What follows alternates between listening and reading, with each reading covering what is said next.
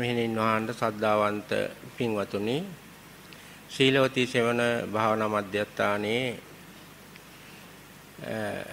සෑම බදාදා දිනකම් පවත්වන හුදකලා භාවනා දිනය අදටත් එදී තියෙනවා. අද දවසේ විශේෂත්වයේ තියෙන්නේ ආධුනික පැමිණිච්ච පිරිසකුත් ඉන්නවා. මේ සෑම දිනාටම ඒ ආධුනික අය මේ දේශනාවෙන් පස්සේ ඒ තුෂාරිකා නෝනා මාත්‍ය චම්පා නෝනා මාත්‍යත් හම්බෙලා ඒ කියන්නේ සාකච්ඡා කරලා ඒ පුහුණු වීම නැවත ඉගෙනගෙන කරගන්න මහන්සි වෙන්න ඕනේ. දිගින් දිගටම අපි පැහැදිලි කරගෙන ආවේ බුදුහාමුදුරෝ දේශනා කරපු ආර්ය අෂ්ටාංග මාර්ගය සතිපට්ඨාන භාවනාවකින් වඩන ආකාරයයි. ඒ සතිපට්ඨාන භාවනාව වලින් මූලික තැනක් කාටත් පහසු වෙන හින්දා සක්මන් භාවනාව ගැන වඩා නැඹුරුවක් මේ සෑම දිනාටම ලබා දුන්නා.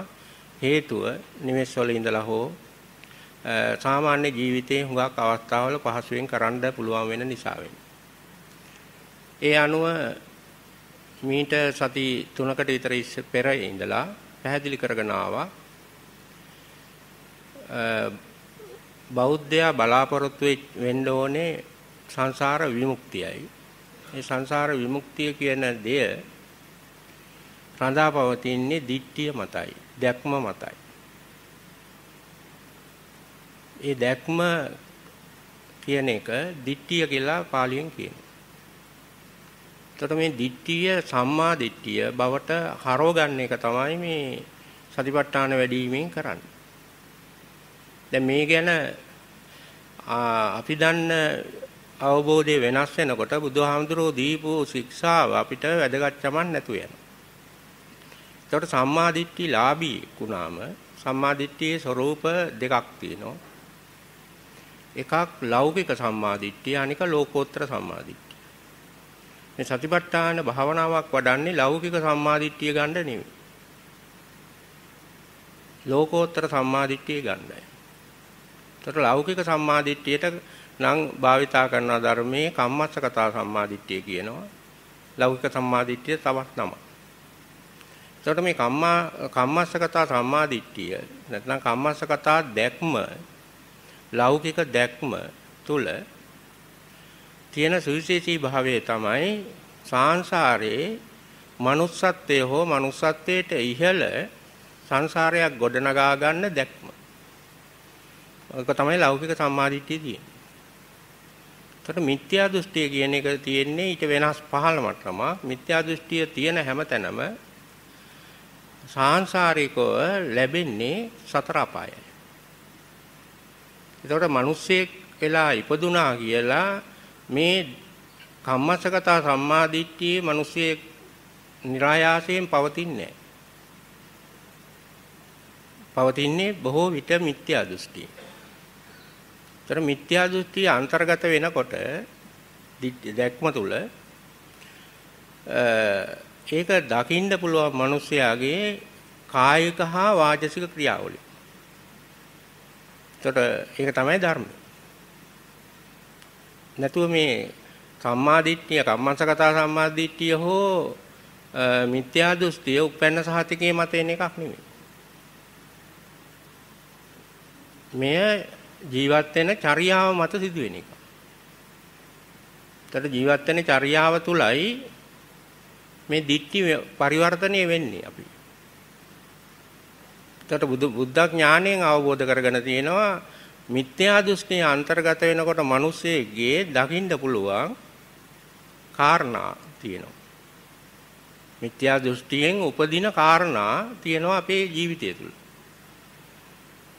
ඒ මිත්‍යා දෘෂ්ටියෙන් ඉතු වෙන කාරණා තමයි පස්පව්. පස්පව් කියන එක පිටින් දකින්න පුළුවන් දේ ඒකට අන්තර්ගත වෙන දිට්ඨිය මිත්‍යා දෘෂ්ටිය.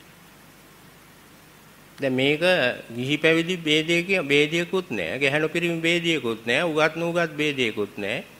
පොහසත් දුප්පත් ભેදයකුත් නැහැ. කිසිම ભેදයක් නැහැ. ඒ කියන්නේ බොරුවක් කියනවා නම් ඒ බොරුව ජනිත කරපු දිට්ඨිය මිත්‍යා දෘෂ්ටියක්. ඒකේ සමාවක් කාටවත් නැහැ. ඒක තමන්ගේ තරාතිරම කියලා හරි වයස කියලා හරි ජාතිය කියලා හරි එහෙම ධර්මයක් නැහැ. එහෙමනම් අපිට මේ ජීවිතය තුළ මිත්‍යා දෘෂ්ටියෙන් කරන වැඩ තමයි වැඩියෙන් තියෙන්නේ කොච්චර හිටියද. නමුත් මේ මිත්‍යා දෘෂ්ටිය පිළිගන්න කැමති නැහැ. මොකද හේතුව අපි උපත්යෙන් බෞද්ධය කියලා එලක් අය ඒකින්ද අපි ළඟ මිත්‍යා දෘෂ්ටිය නැහැ කියනවා. ඒතකොට මේ උපත්ති අනුව සිදුවෙන එකක් නෙවෙයි මේ මිත්‍යා දෘෂ්ටිය කියන්නේ. කායික හා වාචික ක්‍රියාවලින් මැනගන්න පුළුවන් දෙයක් බවයි බුදුහාමුදුරු පෙන්නන්නේ. එතකොට ඒකෙදී මිත්‍යා දෘෂ්ටිය නැති වෙන තැන තියෙන්නේ කම්මස්සගත සම්මාදිට්ඨිය. එතකොට කම්මස්සගත සම්මාදිට්ඨිය තියෙන තැන ඒ දකින්න පුළුවන් ලක්ෂණය තමයි කායික හා වාචික ක්‍රියා. එතකොට කම්මස්සගත සම්මාදිට්ඨිය තුලින් ඇතිවන වාචික ක්‍රියා හා කායික ක්‍රියා වලින් සිදුවෙන ලාභය තමයි කාම සුගති සංසාරයක් හැදීම. කාම කම්මස්සගත සම්මාදිට්ඨිය තුල තියෙන්නේ කාම සුගති සංසාර නිර්මාණය. මිත්‍යා දෘෂ්ටිය තුල තියෙන්නේ කාම දුගති සංසාර නිර්මාණය. ඒතර මිත්‍යා දෘෂ්ටිය මිනිසෙක් ළඟ අන්තර්ගතද නැද්ද කියලා හොයාගන්න තියෙන්නේ මිනිසයා ළඟින් සිදුවෙන මේ මිත්‍යා දෘෂ්ටියේ යටතේ සිදුවෙන වාචසික හෝ කායික ක්‍රියා පස්පව් ගණයට වැටෙනවා. ඊට අමතරව දැන් බුදුහාමුදුරුවෝ අවබෝධ කරගත්තේ මේ සංසාරයක් හදන්න නැති දිට්ඨියක් තියෙනවා. ඒ දිට්ඨිය කවදාවත් මිත්‍යා දෘෂ්ටියක් නෙමෙයි, කම්මස්සගත සම්මා දිට්ඨියක් නෙමෙයි. සංසාරයක් හදන්න නැති දිට්ඨිය. සංසාර විමුක්තිය ලබා දෙන දිට්ඨිය. එතකොට ඒ සංසාර විමුක්තිය ලබා දෙන දිට්ඨිය තමයි ලෝකෝත්තර සම්මාදිට්ඨිය. එතන මේ ලෝකෝත්තර සම්මාදිට්ඨිය ලැබෙන ඒකායන ක්‍රමය තමයි සතිපට්ඨානෙ වැඩිම. කම්මස්සගත සම්මාදිට්ඨිය ලැබෙන ක්‍රම තමයි සීල් රැකීම, ආමිෂ පින්කම් කිරීම, සමත භාවනා කිරීම. එතකොට ආමිෂ පින්කමක් තුල වැඩිපිරම යෙදෙන දිට්ඨිය කම්මස්සගත සම්මාදිට්ඨියයි. සීල් සීලයක් ආරක්ෂා කරන තැන තියෙන්නේ කම්මස්සගත සම්මාදිට්ඨියයි. සමත භාවනා කරලා රූපාවචර අරූපාවචර ධානය ලබා ගත්තත් තියෙන්නේ කම්මස්සගත සම්මාදිට්ඨිය. එතන ලෝකෝත්තර සම්මාදිට්ඨියක් නැහැ. එතන ලෝකෝත්තර සම්මාදිට්ඨිය ලබන්න ලබන ක්‍රමය අවබෝධ කර ගැනීම තමයි බුද්ධත්වය. එතකොට බුදුහාමුදුරුවෝ පෙන්වන්නේ ලෝකෝත්තර සම්මාදිට්ඨිය ලබන්න පුළුවන් වෙන්නේ සතර සතිපට්ඨානයේ වැඩිම තුලයි. දැන් මේ ගැන විශ්වාසයක් නැති අය හැම වෙලේම අර කම්මස්සගත සම්මාදිට්ඨියට එක්කෝ ආවඩනවා. ඒකේ ක්‍රියාකාරීත්වයට වහල් වෙලා ජීවත් ඒක තමයි නිවන් මාර්ගය කියලා විශ්වාස කරනවා. ඒක යටතේ හැසිරෙනවා. එතකොට වැඩෙන්නේ මොකද්ද? කම්මස්සගත සම්මාදිට්ඨිය විතරයි. එයාට කවදාවත් ලෝකෝත්තර සම්මාදිට්ඨිය ලං වෙන්න බෑ. ඉතින් ඒ වුණාත් දැන් අපි හිතමු ලෝකෝත්තර සම්මාදිට්ඨිය ලැබුණාට පස්සේ ලෝකෝත්තර සම්මාදිට්ඨිය ලාභියෙකුට ලාභියෙක්ගේ දකින්න තියෙන දේ මොකද්ද? දැන් ඒකට කලින් දැනගන්න ඕනේ කම්මස්සගත සම්මාදිට්ඨිලාභියෙක්ගේ දකින්න පුළුවන් මොනවද ලක්ෂණ? කම්මස්සගත සම්මාදිට්ඨිය තුල තියෙන උපදින වාක් කර්ම, වචී කර්ම, කායික ක්‍රියා හා වාචසික ක්‍රියා පින කියනවා. ඒක තමයි පින කියලා ධර්මයේ කියන්නේ. පව කියන්නේ එහෙම මිත්‍යා දෘෂ්ටියෙන් ජනිත වෙන වාක් කර්ම, කායික ක්‍රියා හා වාචසික ක්‍රියා. එතකොට පින කියන්නේ සංසාරය හදන ස්වરૂපයක්, පව කියන්නේ සංසාරය හදන ප්‍රස්වરૂපයක්. හැබැයි සංසාරික විපාකය දෙක, විදිහට දෙක. පවෙන් විපාක දෙන්න දෙන විපාකය සතර අපායට සම්බන්ධයි. ඒතර සතර අපායේ විපාක දෙන අතීත වාචසික හා කායික ක්‍රියා මේ හැම දිනාගෙම තියෙනවා. නමුත් manussත්වයේ ඉපදුන හින්දා ඒ ටික යට යනවා. දැන් manussත්වයේ ඉපදිලා නැවත මිත්‍යා දෘෂ්ටියෙන් සතර පාය විපාක දෙන ඒවා කිරීම තුළ නැවත සතර පාය මානසික තත්ත්වයක් සත්ව ස්වરૂපයක උපදිනොත් මරුණට පස්සේ අර පරණේවත් එක්ක විපාක දැන් මිනිස්සෙක් වෙලා ඉපදෙන්නේ නැතුව දෙවියෙක් වෙලා ඉපදුනා නම් manussත්වයේ තියෙන විපාක කියන්නේ අකුසල විපාක ටික දෙවියන්ට දෙන්න බෑ. එතකොට බ්‍රහ්ම කිව්වම ඒක අදාළ නෑ. ඔය පින කාමාවචර කුසලයේ හා අකුසලයේ විපාක ලැබෙන්නේ නැති කාලයක් තමයි බ්‍රහ්ම කියන්නේ. එයාට ආයේ එතකොට ම බ්‍රහ්මත්වයෙන් අහක් වුණාම තමයි අර විපාක ටික දෙන්නේ. දැන් මෙහෙම තමයි බුදුහාමුදුරුවෝ සාංශාරික ස්වરૂපය ගැන කියන්නේ. දැන් මේක ගැන නොදන්න අය අර විකාර කර කර තමන් හිතාගෙන ඉන්නවා මෙන්න මේකෙන් තමයි මේ අවසාන සංසාර විමුක්තිය ලැබෙන්නේ කියලා. හුඟක් අය කරන්නේ තමන්ට ආවේනික බොරුව. ඒ බොරුවේම අනික් අයත් මෙහෙවනවා. ඒකට තමන් කරන බොරුව දූ දරුවන්ට මේ මේ උගන්වනවා. પરම්පරාවට උගන්වනවා.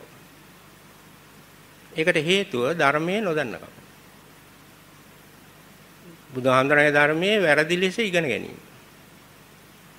දැන් මේ தත්ත්වයේ උඩ එදා බුද්ධ බුදුහාමුදුරගේ ජීවමාන කාලයේදී ගැටලුවක් ආවා. බුදුහාමුදුරුවන්ගේ ධර්මයේම හැසිරෙන. ඒ කියන්නේ මේ සතිපට්ඨානියම පුරුදු කරන. වඩන වෙන දේවල් දැන් ලංකාවේ ඉන්න අයගේ වෙනේව කරපු අය නෙවෙයි මේ. කම්මස්ස කතා සම්මාදිට්ඨියේම දේවල් ගන්න ගියේ අයත් නෙවෙයි. ඍජුවම බුදුහාමුදුරන්ගේ කමඨහන් වඩන අය. අතරත් ආව ගැටලුවක් පැවිදි අය අතර මේ සම්මාදිට්ඨිය ලෝකෝත්තර සම්මාදිට්ඨි ලාභියෙක්ගේ තියෙන ස්වરૂපය. මේ සම්මාදිට්ඨියක් ලැබුවා ලෝකෝත්තර සම්මාදිට්ඨියේ තියෙන ලක්ෂණ මොනවද? මේ ගැටලුව තුල හුඟක් අය සත්‍ය ලෙස තථාගත ධර්මයේ නැති සම්මාදිට්ඨියේ ಗುಣ පිළිගන්න හා විශ්වාස කරන්න පටන් ගත්තා. මෙන්න මේ දෙයට විසඳුමක් විදිහට සරියොත් හාමුදුරුවෝ එක අවස්ථාවක මේ ලෝකෝත්තර සම්මාදිට්ඨි ලාභියෙක් ළඟ තියෙන සම්මාදිට්ඨිය ලබන ක්‍රමේ නෙමෙයි මේ කියා දෙන්නේ සම්මාදිට්ඨි ලාභියෙක් තුල තියෙන ಗುಣ මෙන්න මේවයි මෙන්න මේ ලක්ෂණ තියෙනවා කියලා පැහැදිලි කිරීමක් කරා ඒ පැහැදිලි කිරීම අන්තර්ගත සූත්‍රයේ සම්මාදිට්ඨි සූත්‍රය. දැන් එතකොට ලංකාවේ ඉන්නවද මේ සම්මාදිට්ඨි සූත්‍රයේ ඉගෙනගෙන සම්මාදිට්ඨිය ලැබුපු අය? ඔන්න දැන් අද වර්තමානයේ හැටි. සම්මාදිට්ඨි සූත්‍රයේ ඉගෙනගෙන පාඩම් තිබිලා ඒක ගැන පොත් ලියලා ඒක ගැන දේශනා කරලා සම්මාදිට්ඨිලාභියෙක් බිහි වෙන්නේ නැහැ. සමාධිට්ඨි සූත්‍රයේ තියෙන්නේ සතිපට්ඨානේ හරි බුදුහාමුදුරුවෝ දීපු ආරෂ්ඨාංග මාර්ගයේ වඩලා සම්මාදිට්ඨියකටපත් වෙච්ච පුජ්‍යලයේ දකින්න පුළුවන් ලක්ෂණ ටික. ඉතින් මේ මෙහෙම පැටලෙනවා. එතකොට මේ සම්මාදිට්ඨි සූත්‍රයේ තියෙන සම්මාදිට්ඨි ලාභියගේ ලක්ෂණ 16ක් ගැන සරියුත් හාමුදුරුවෝ පෙන්නනවා. ඒ 16න් එකක් තියනවා නම් ශ්‍රාවකයෙක් ළඟ එයාට තීන්දුව කරන්න පුළුවන් මම ළඟ මේ තියෙන්නේ සම්මාදිට්ඨිය. වෙන දෙයකට දේශනා කරපු එකක් නෙවෙයි ඒක. ඒක නැතුව වෙන කාගෙන්ව අහලා දැනගන්න මල් ළඟ මේක තියනවාද කියලා වෙන කාගෙන්ව අහලා දරියුත් හාමුදුරන්ගෙන් අහන්න මේ අවශ්‍ය වෙන විදිහට නෙවෙයි දේශනාව තියෙන්නේ. ඒ වුණාට වර්තමානයේ ලංකාවේ ඉන්නේ සම්මාදිට්ඨිලාභියෙක් නම් සෝවාන්වත් වෙන්න එපා. සෝවාන් වුණාද මම කියලා අහන්න යන්නේ කා ළඟට. ශාස්ත්‍රකාරය ළඟ. ඒ යන කෙනා ළඟ සම්මාදිට්ඨිය නැහැ. එහෙම හිතන කෙනා ළඟ සම්මාදිට්ඨිය තියෙන්න බෑ. දැන් මම සම්මාදිට්ඨිය තුලද ඉන්නේ නැද්ද කියලා සැකේ තියෙන තැන සම්මාදිට්ඨිය නැහැ. ඇයි සැකේ තියෙන තැන නැත්තේ? සම්මාදිට්ඨිලාභයගේ මූලික ලක්ෂණය තමයි සක්කාය දිට්ඨි විචිකිච්ඡා සීලබ්බත පරාමාස කියන සංයෝජන නැහැ. එහෙමනම් සැකේ තියෙන්න බෑ. සැකේ කියන්නේ වහින එක ගැන සැකය මිනිස්සු ගැන සැකය නෙමෙයි තියෙන්න බැරි. මේ මල් ළඟ තියෙන සම්මාදිට්ඨියද නැද්ද කියන සැකේ තියෙන්න බෑ. මගේ ආර්ය අෂ්ටාංග මාර්ගයේ වැඩිලාද නැද්ද කියලා සැකේ තියෙන්න බෑ. ධර්මීය ධර්මානුකූලව මේක මිත්‍යා දෘෂ්ටියද මේක කම්මස්සකතා සම්මාදිට්ඨියද මේ මේ ස්වභාවය ලෝකෝත්තර සම්මාදිට්ඨියද කියන සැකේ තියෙන්න බෑ. එහෙම සැක කරන කෙනා තව තවත් කරන්න ඕනේ ආර්ය අෂ්ටාංග මාර්ගයේ වැඩිමයි. නැතු එක කාපස්සේ ගිහිල්ලා මං සෝවාන්ද සකදාගාමීද කියලා හොයන්න හිතන කෙනා ළඟ එහෙම ගුණයක් නැහැ. මේක තේරුම් කර ඒක තමයි මේ සරියුත් ආමඳුර පැහැදිලි කරන්නේ. මෙන්න මේ ධර්ම කාරණා ටික තිබුණ තැන විතරයි තියෙන්න පුළුවන් සම්මාදිට්ඨිය. සම්මාදිට්ඨිලාභියගේ තියෙන ගුණ මේක. ඒකටයි ධර්මයේ ඉගෙන ගන්නේ. නැතුව සම්මාදිට්ඨි සූත්‍රය කටපාඩම් කරලා ඉගෙනගෙන දැන් මෙහි මේක මෙහි කට්ටියත් එහෙම කරන්න පුළුවන්. අපිට මේක ඉගෙන ගන්න ඕනේ. ඉගෙන ගන්න නෙමෙයි මේ කියන්නේ තමන් කරන සතිපට්ඨානය හරිද වැරදිද කියලා තේරුම් කර ගැනීමට. එහෙම නැතුව මේක ඉගෙන ගත්තා කියලා සම්මාදිට්ඨිලාභියෙක් වෙනවා කියලා බුදුහාමුදුරු දේශනා කරන්නේ සූත්‍රය ඉගෙනගෙන සම්මාදිට්ඨිය ලැබෙනවා කියලා දේශනා කරන්නේත් නැහැ. ඒක හින්දා ඒ ගැන සැලකිලිමත් වෙන්න ඕනේ නැත්නම් ඉගෙනගෙන මේක කරන්න යෑම තුල හානියක් තියෙනවා. තමන්ගේ ඒ ක්‍රියාමාර්ගය ධර්මානුකූලව වෙන්නේ නැහැ එතකොට. දැන් එතෙන්දී අපි පැහැදිලි කරා සරියුත් හාමුදුරු දේශනා කරපු කාරණා දෙකක් මීට කලින්. අද තුන්වෙනි කාරණේ. කාරණා දෙක තමයි පළවෙනි කාරණේ සම්මා දිට්ඨිලාභියෙක් ළඟ කුස අකුසලංච පජානාති අකුසල මූලංච පජානාති කියන ගුණය තියෙනවා. කුසලංච පජානාති කුසල මූලංච පජානාති. මෙන්න මේ කාරණා හතර විද්‍යාමාන. ඒක ගැන පැහැදිලි කරා දිගටම. ඊට පස්සේ සරියත් හාමුදුරුවෝ කියන ඒක නැති වුණත් මෙන්න මේ ගුණය තියෙනවා නම් එතනක් තියෙන්නේ ওই සම්මා දිට්ඨියමයි. දෙවෙනි ගුණය මොකද්ද? ආහාරංච පජානාති ආහාර සමුදයංච පජානාති ආහාර නිරෝධංච පජානාති ආහාර නිරෝධගාමිනී පටිපදාය පජානාති. ඒකත් අපි පැහැදිලි කරලා දුන්නා. ඒ ඒ දෙවෙනි කාරණේ කියලා තුන්වෙනි කාරණේ සරියුත් හාමුදුරුවෝ දේශනා කරන්නේ මෙන්න මේ විදිහටයි. සම්මාදිට්ඨි ලාභියෙක් අමතක කරන්න එපා සම්මාදිට්ඨිය ලබන්නේ මේක ඉගෙනගෙන නෙමෙයි. සම්මාදිට්ඨිය ලබන්නේ ඒගොල්ලෝ ඔය ඉගෙන ගත්තේ සක්මන් භාවනාව ප්‍රගුණ කරලා ඒකෙන් ලැබෙන ඵලයක්. සතිපට්ඨාන භාවනාව. දැන් අපි කියන්නේ වැඩියෙන් සක්මන් භාවනාව. නවකයොත් මහන්සි වෙන්න ඕනේ ඔය අනික් අය කියන විදිහට පුටු උඩ නිදා ගන්න නැතුව පුළුවන් තරම් සක්මන් භාවනාව හරියට කරන්න. ඒක කරගන්න පුළුවන් දෙයක්. නැත්තම් බොරු වැඩ කරලා අර මිත්‍යා මත වලට යනවා. එතකොට මේ සක්මන් භාවනාව හෝ වේවා සතිපට්ඨාන සූත්‍රයේ තියෙන ඕනම් භාවනාවක් එක එක ගුරුකුල එක එක විදිහට මේවා කියා දෙනවා. ඒවැ හරියට ඒ සතිපට්ඨානේ වඩලා ලැබෙන ඵලයක් සම්මාදිට්ඨිය. එතකොට ඒ ලැබෙන සම්මාදිට්ඨිය තුල අන්තර්ගත වන ධර්ම කාරණා ටිකක් තමයි සරියුත් ආමඳුර මේ දේශනා කරන්නේ. මේක අමතක කරන්න එපා. එතකොට මේ තුන්වෙනි කාරණේ විදිහට සරියුත් ආමඳුර පෙන්වන්නේ දුක්ඛංච පජානාති. දුක්ඛ සමුදයන්ත පජානාති. දුක්ඛ නිරෝධංච පජානාති. දුක්ඛ නිරෝධ ගාමිනී පටිපදාය පජානාති. එතකොට මෙතන කාරණා හතරක් කියනවා. දුක දුක්ඛේ ඥානං නෙවෙයි මේ. පටලව ගන්න එපා. දැන් චතුරාර්ය සත්‍ය කියන්නේ දුක්ඛංච පජානාති නෙවෙයි. ආර්ය සත්‍ය හතර කියන්නේ දුක්ඛේ ඥානං දුක්ඛ සමුදය ඥානං දුක්ඛ නිරෝධේ ඥානං දුක්ඛ නිරෝධ ගාමිනී පටිපදාය ඥානං. මේක එකක්. මේ මේ දුක්ඛේ ඥානං කියන එක නෙවෙයි මේ සම්මාදිට්ඨි ලාභියා තුල දකින්න තියෙන ධර්ම ලක්ෂණය දුක්ඛං පජානාති. තර දුක්ඛං පජානාති කියන එක වගේ එකක් නෙවෙයි දුක්ඛේ ඥානං කියන එක. දුක්ඛේ ඥානං කියන්නේ වෙන දෙයක්. දැන් සාමාන්‍යයෙන් අපි ඉගෙන ගන්න කාලේ ඉගෙනගෙන තියෙනවා ඔය ආරෂ්ඨාංග මාර්ගයේ අංග ගැන. ඒ අංග ගැන බණ අහනකොට හරි පොත් වලින් හරි සූත්‍ර කියවලා හරි කෙනෙකුට තේරෙන ඔය සම්මා දිට්ඨිය ලෝකෝත්තර සම්මා දිට්ඨියේ තියෙන ලක්ෂණ මොනවද? අන්තර්ගතය. සම්මා දිට්ඨිය තුල ලෝකෝත්තර සම්මා දිට්ඨිය තුල අන්තර්ගතය කියන්නේ ලෝකෝත්තර සම්මා සම්මා දිට්ඨිය කියන එක හඳුන්වන්නේ දැන් උදාහරණයක් විදිහට සම්මා සංකප්ප හඳුන්වනවා නෙක්ඛම්ම සංකල්පන සංකප්ප අව්‍යාපාද අවිහිංසා එතකොට ඒකේ අනිත් පැත්ත තියෙන හැමතැනම සම්මා සංකප්ප නෙවෙයි. මිත්‍යා සංකප්ප. එතකොට සම්මා සංකප්ප වල තියෙන්නේ සංකල්පනා වලින් සංසාරයක් හදන්න නැති ස්වરૂපයයි. අනික ඕන සංකල්පනාවක තියෙන්නේ සංසාරයක් හදන එකයි. එතකොට සම්මා දිට්ඨි කියන එක ওই විදිහට හඳුන්වනකොට ඉගෙනගෙන තියෙන්නේ නැත්නම් ඉගෙන ගන්න වෙන්නේ සම්මා දිට්ඨි කියන්නේ දුක්ඛේ ඥානං දුක්ඛ සමුදය ඥානං දුක්ඛ නිරෝධේ ඥානං දුක්ඛ නිරෝධ ගාමිනී පටිපදාය ඥාන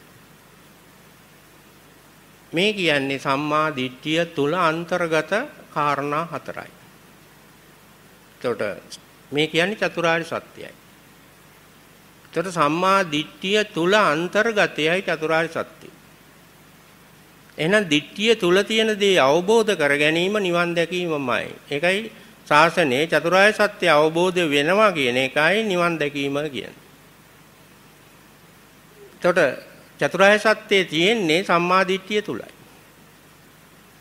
එතකොට චතුරාර්ය සත්‍ය අවබෝධ වුණා කියන්නේ සම්මා දිට්ඨි ලාභියෙක් වුණාමයි.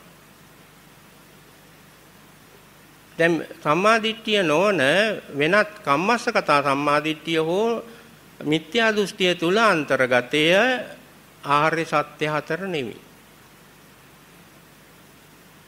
එතකොට මිත්‍යා දෘෂ්ටි කියන එක පොතේ ඔයගොල්ලෝ පාඩම් කරලා නැත්නම් ඉගෙනගෙන තියෙනවා නම් සම්මා දිට්ඨි කියන එකට ලකුණු හම්බෙන්නේ දුක්ඛේ ඥානං දුක්ඛ සමුදය ඥානං දුක්ඛ නිරෝධේ ඥානං දුක්ඛ නිරෝධගාමිනී පටිපදාය ඥානං කියන එක. මිත්‍යා දෘෂ්ටි කියන එකට ලකුණු හම්බෙන්නේ දුක්ඛේ අඥාන දුක්ඛ සමුදය අඥාන දුක්ඛ නිරෝධේ අඥාන දුක්ඛ නිරෝධ ගාමිනී පටිපදාය අඥාන. එතකොට දුක කියලා දන්නේ නැති තැන මිත්‍යා දෘෂ්ටියයි. දුක දන්නේ තැන දුක අවබෝධ වෙච්ච තැන තියෙන්නේ සම්මා දිට්ඨියයි. දුකට හේතුව දන්නේ නැති තැන තියෙන්නේ මිත්‍යා දෘෂ්ටියයි. දුකට හේතුව දන්නේ තැන තියෙන්නේ ආ දුකට හේතුව දන්නේ තැන කියන්නේ හැබැයි බුදුහාමුදුරෝ දේශනා කරන බුදුහාමුදුරෝ අවබෝධ කරගත්තේ හේතුවයි. තම තමන්ගේ දුකට හේතුව හරියන්නේ නැහැ මේක. එතකොට මෙන්න මෙහෙම මේ දිට්ඨිය තුල අන්තර්ගතයක් තමයි එතකොට සම්මා දිට්ඨිය තුල අන්තර්ගතයක් ආර්ය සත්‍ය හතර. මිත්‍යා දෘෂ්ටියෝ කම්මස්සකතා සම්මාදිට්ඨිය තුල ආර්ය සත්‍ය හතර නෑ. නමුත් සත්‍ය හතරක් තියෙනවා. ආර්ය නෑ.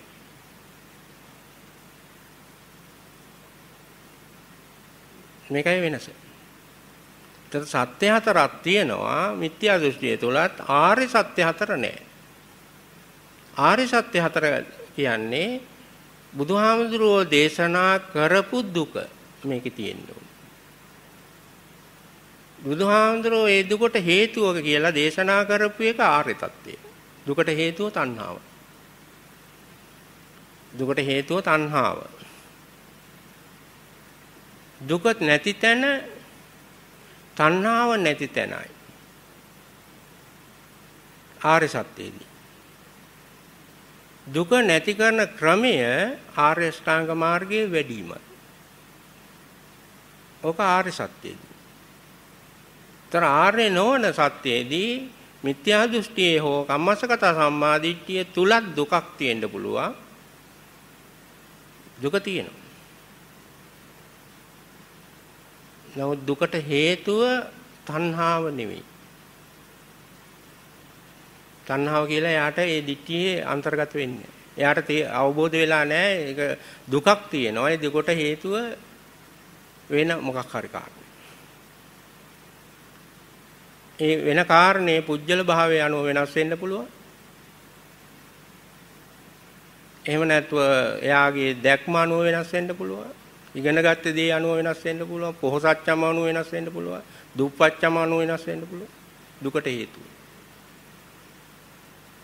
සිංහල කම අනුව වෙනස් වෙන්න පුළුවන්. දෙමළ කම අනුව වෙනස් වෙන්න පුළුවන්. දුකට හේතුව. ඒවා තණ්හා ඒක තණ්හාව නෙමෙයි. ආර්ය සත්‍යයේදී දුකට හේතුව තණ්හාවයි. ආර්ය නොවන සත්‍යයේදී දුකට හේතුව තමන්ගේ මතය. ඒතර තමන්ගේ මතය දුකට හේතු වුණාම අනි ඉතුරු කාරණා දෙකත් අන්තර්ගත වෙනවා. දුක නැති තැනකුත් දුකට හේතුවක් තේරෙන කෙනාට ඒ හේතුව නැති තැන දුක නැහැ. එතකොට ඒ වගේම ඒ හේතුව නැති කරන ක්‍රමයකුත් එයාට තේරෙනවා. නමුත් බොරුවක්. සත්‍ය නෙවෙයි. ඒ දුක නැති කරන ක්‍රමයේ අනුගමනය කරපුවා හැදෙන්නේ සංසාරේ. ඒකයි බොරුවෙන්. බොරුව කියන්නේ. දැන් බුදුහාමුදුරෝ දේශනා කරන දුකයි අවබෝධ කරගත්තේ දුකයි ඒ දුකට හේතුව තණ්හාව තණ්හාව නැති කරන ක්‍රමයේ ආරෂ්ඨාංග මාර්ගයේ වැඩිම ආර්යෂ්ටාංග මාර්ගය වැඩුවාම සංසාරයක් හැදෙන්නේ නැහැ. වැඩිච්ච ආර්යෂ්ටාංග මාර්ගයෙන් සංසාරයක් හැදෙන්නේ නැහැ. එන අනිත් සංසාරගත සියලුම සත්‍යයන්ට දුකක් තිබිලා ඒ දුකෙන්මයි ඒ දුකට පිළියම් හොයලා තමයි සංසාරේ නිර්මාණය ඒ දුක ඇති වෙනකොටම දුක ඇති වෙන මොහොතේම මේ දිට්ඨිය තුල අන්තර්ගතයි දුක නැති කරන ක්‍රමයක්. ඒක දැනටත් සාධාරණයි. මේ බණ අහනකොට මේ හැම දිනාටම සාධාරණයි. මේ බණ අහන්නේ යම්කිසි විදිහක දුකට පිළියම. දුක මොකද්ද?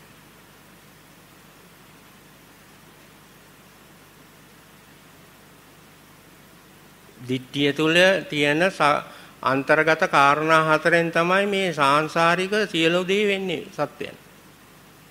ඒ මොහොතේ දිට්ඨිය තුල අන්තර්ගත වන කාරණා හතරයි.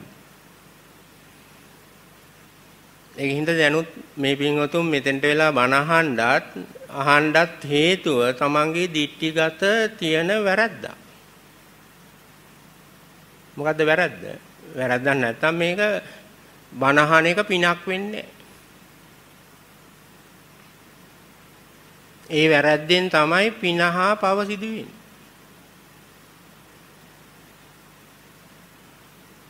තර ලෝකෝත්තර සම්මාදිට්ඨිය තුල පිනකුත් බිහි වෙන්නේ පවකුත් බිහි වෙන්නේ පිනක් බිහි වුණ හැටිය ඒක සංසාර විපාකයක් සංසාර නිර්මාණය පවක් බිහි වුණා සංසාර නිර්මාණය එහෙනම් පින පව නිර්මාණය වෙන තැන තියෙන දිට්ඨියේ දුකක් අන්තර්ගතයි අනිවාර්යෙන්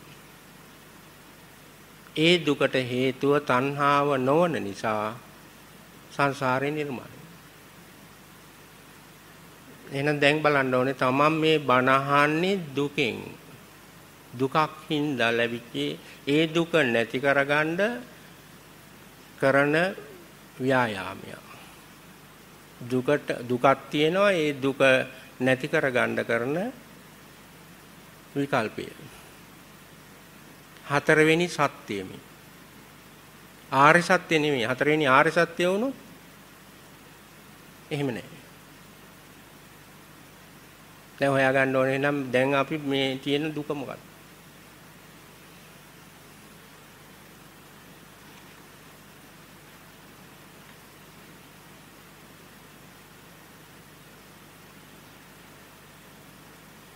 ඒගොල්ලෝ ගෙදර ඉඳලා මෙහෙට එක්ක ආවේ දුකින්. දුකේ ඒ දිට්ඨිය තුල තියෙන දුක. දුක නෙවෙයි ඒ දුක නැති කර ගන්න කරන ව්‍යායාම. නැත්තම් කවදාවත් මේ හිට එන්නේ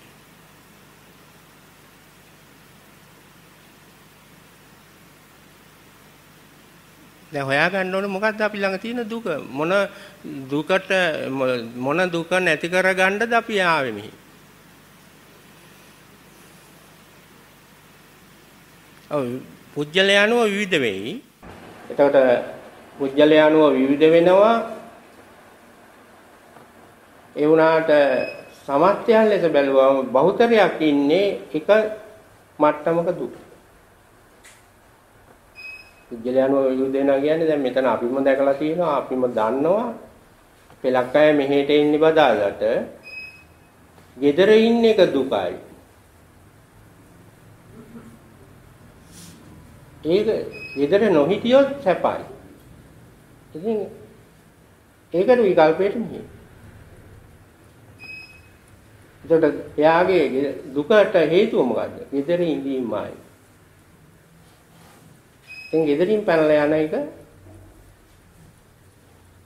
ඒක ආර්ය අෂ්ටාංග මාර්ගේ වැඩුවා කියලා යයි. ඒ ඒකත් ඒ දුකට හේතුව.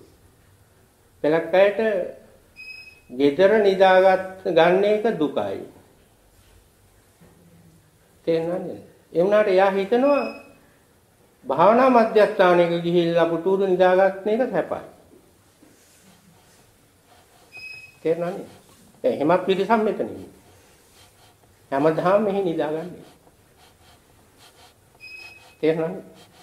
ඉතින් යාගේ දිට්ඨියනේ දැක්ම. නමුත් දැන් බහුතරය ළඟ අද දැන් තියෙන දිට්ඨිය මොකක්ද? මේ දිට්ඨිය තුළ දුකක් තියෙනවා. දැන් දැන් මේ සරියුත්තාමතුරු දේශනා කරන එක හොයාගන්න බෑනේ. දුක්ඛංච පජානාති. ඒ දුක දැනගෙන ඉන්නේ බැයිසෙල්. මෙහෙට දැක්කුවේ දුක මොකද්ද? ගෙදරින්ද? නිකන් එන්න බෑනේ.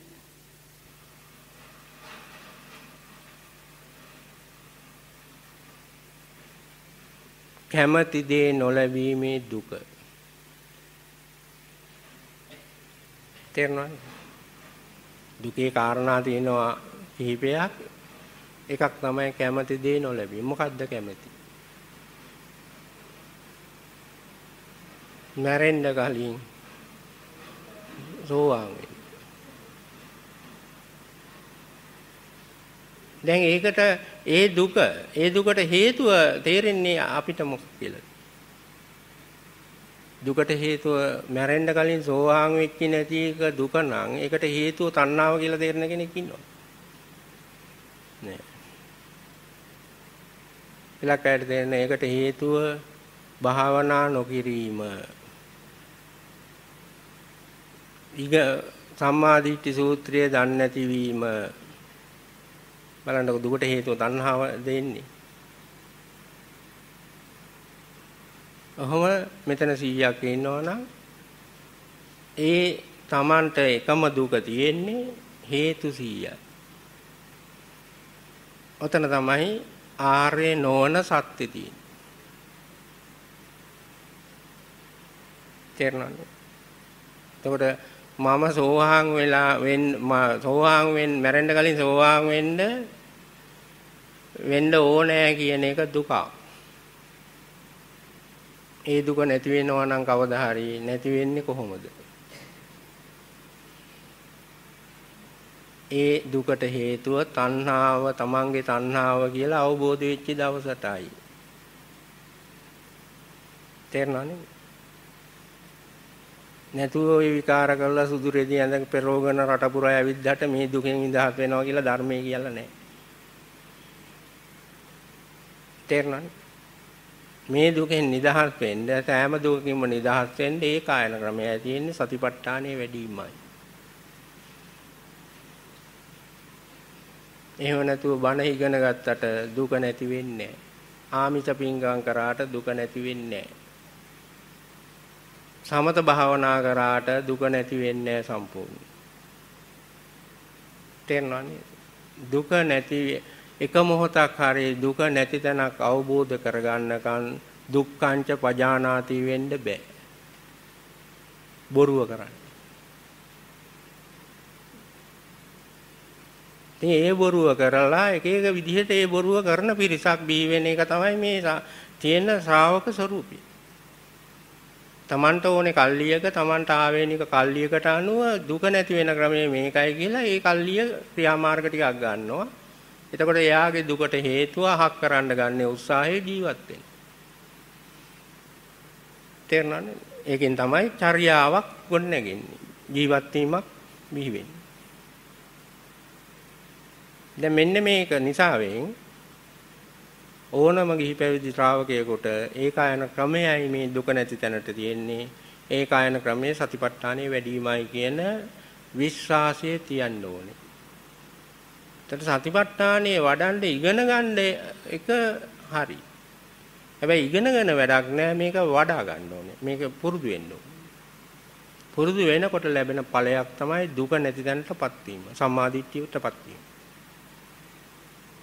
එතකොට මේ මේකට පුරුදු වෙන ක්‍රමය තමන්ගේ උගච්චමෙන් හෝ තමන්ගේ දැනුම් සම්භාරයක් අනුව හෝ තීන්දුව කරන්න බැරි හින්දායි බුද්ධත්වයේ වටිනාකම තියෙන්නේ. බුදුහාමුදුරුව විතරයි මේක අවබෝධ කරගන්නේ. එතකොට බුදුහාමුදුරුව අවබෝධ කරගන්නවා සැබෑ ලෙස තණ්හාව නැති වෙන ක්‍රමය. ඒ ක්‍රමය අනුගමනය කරන ශ්‍රාවකයාට ඒ තැන ඒ ප්‍රතිඵලය ලැබෙනවා. ඒ ප්‍රතිඵලය ලැබෙන්නේ ඒ ශ්‍රාවකයා Tamanට ඕන විකාර කරලා නෙවෙයි. ඒ ශ්‍රාවකයා බුදුහාමුදුරුව කෙරෙහි විශ්වාසයෙන් ධර්මයේ කෙරෙහි විශ්වාසයෙන් අර සතිපට්ඨානයේ වැඩිමෙන් ලැබෙන ඵලයක්.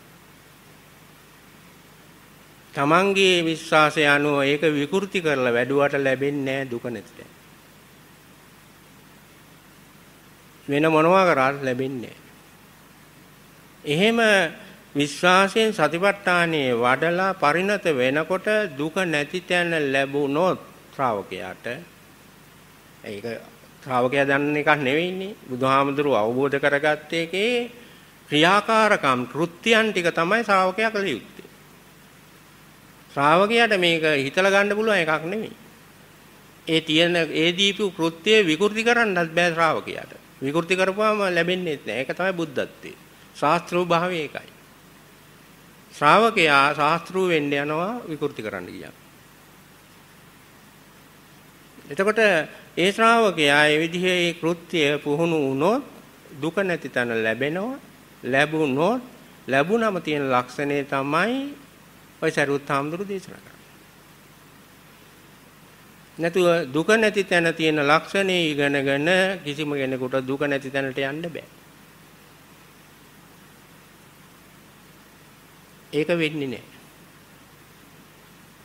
ඒ ගැන සැලකිලිමත් වෙන්න ඕනේ මම නැවත නැවත මේ කියන්නේ ලංකාවේ ඉන්න තරමත් ඉන්නේ පඬිත උගත් උගත් චමෙන් නිවන් දකින්න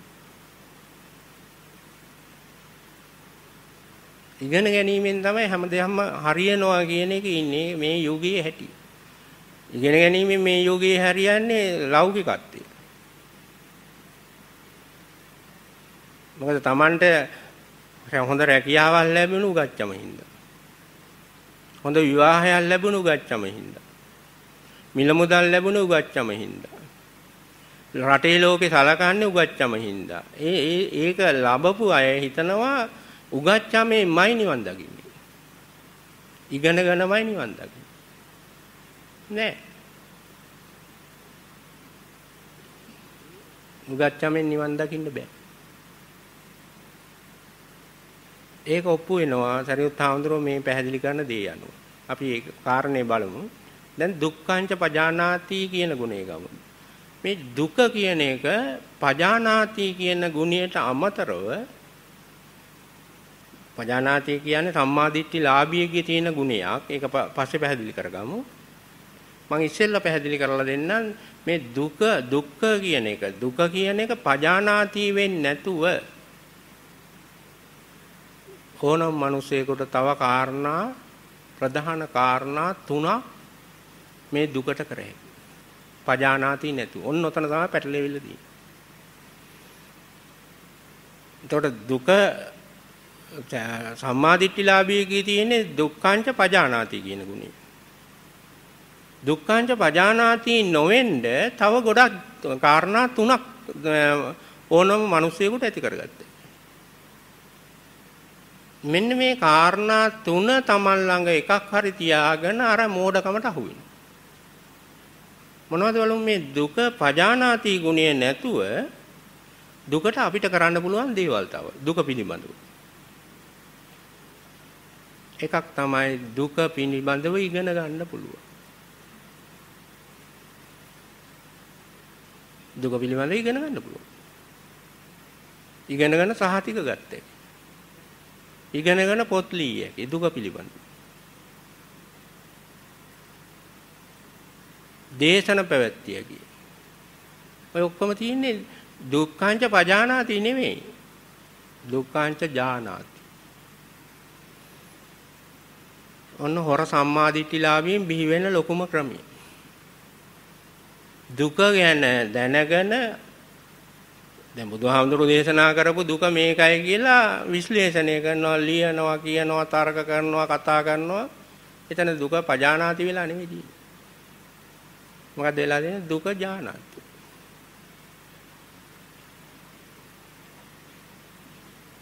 ඒකට තමයි හුඟක් අය සැරසෙන්නේ. දැන් මේ බණ අහන්න එන්නේත් වැඩි හරියක් ඔන්න ඕකට.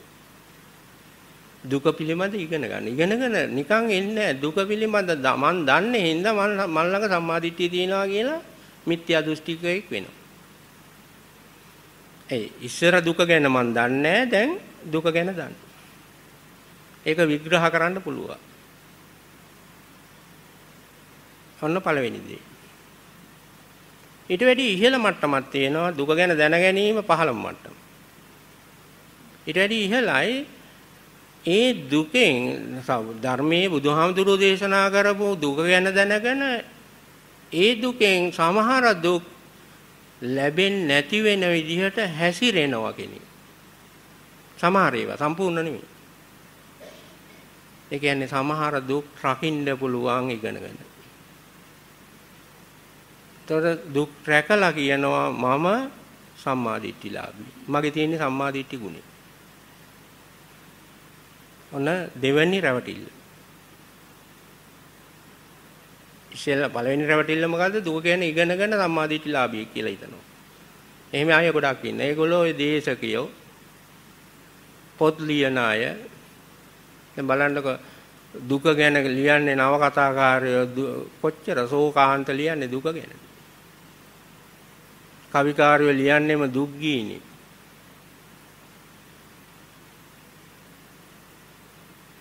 නේද වෙන මොනවද කවියේ තියෙන්නේ දුක් ගීනේ. නව කතාවේ තියෙන්නේ මොකද? කෙටි කතාවේ තියෙන්නේ මොකද? දුක. දැන් දුකේ ස්වરૂප කියනවා දේශනාවේ සරියුත් හාමුදුරුවෝ මෙතෙන්දි සම්මාදිට්ඨි සූත්‍රයේ කියනවා මේ දුක්ඛංච පජානාති කියන එක දුක මොකද්ද කියලා කියනවා. දුක කියන්නේ බුදුහාමුදුරු දේශනා කරන ජාති දුක, ජරා දුක, මරණ දුක, ශෝක, පරිදේව, දුක්ඛ, දෝමනස්ස කැමැති දේ නොලැබීම. සංකිච්ඡේන පංච උපාදානස්කන්ධා දුක්ඛ කියලා අවසානයේ කියනවා. මේක තමයි දේශනාව. ඒකට කවිකාරයන්ගේ දුක් ගී වල තියෙන්නේ ওই ටික තමයි. ඕනම කවියක තියෙන දුක් ගීය. ඕනම නව කතාවක තියෙන දුක. එයාට දැනගත්තේ දුක. නමුත් අපිට සැපක් කියෝන එක. අහන එක සැපක්. ඒක සාංශාරික ස්වરૂපය.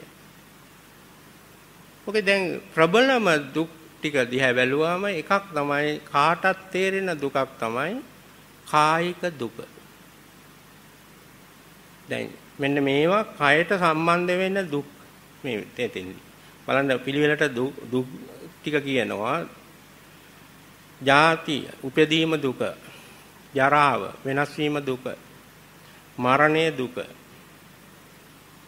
එතකොට ජාති, ජරා, මරණ කියන ඒවා එක ශරීරයේ සම්බන්ධයි.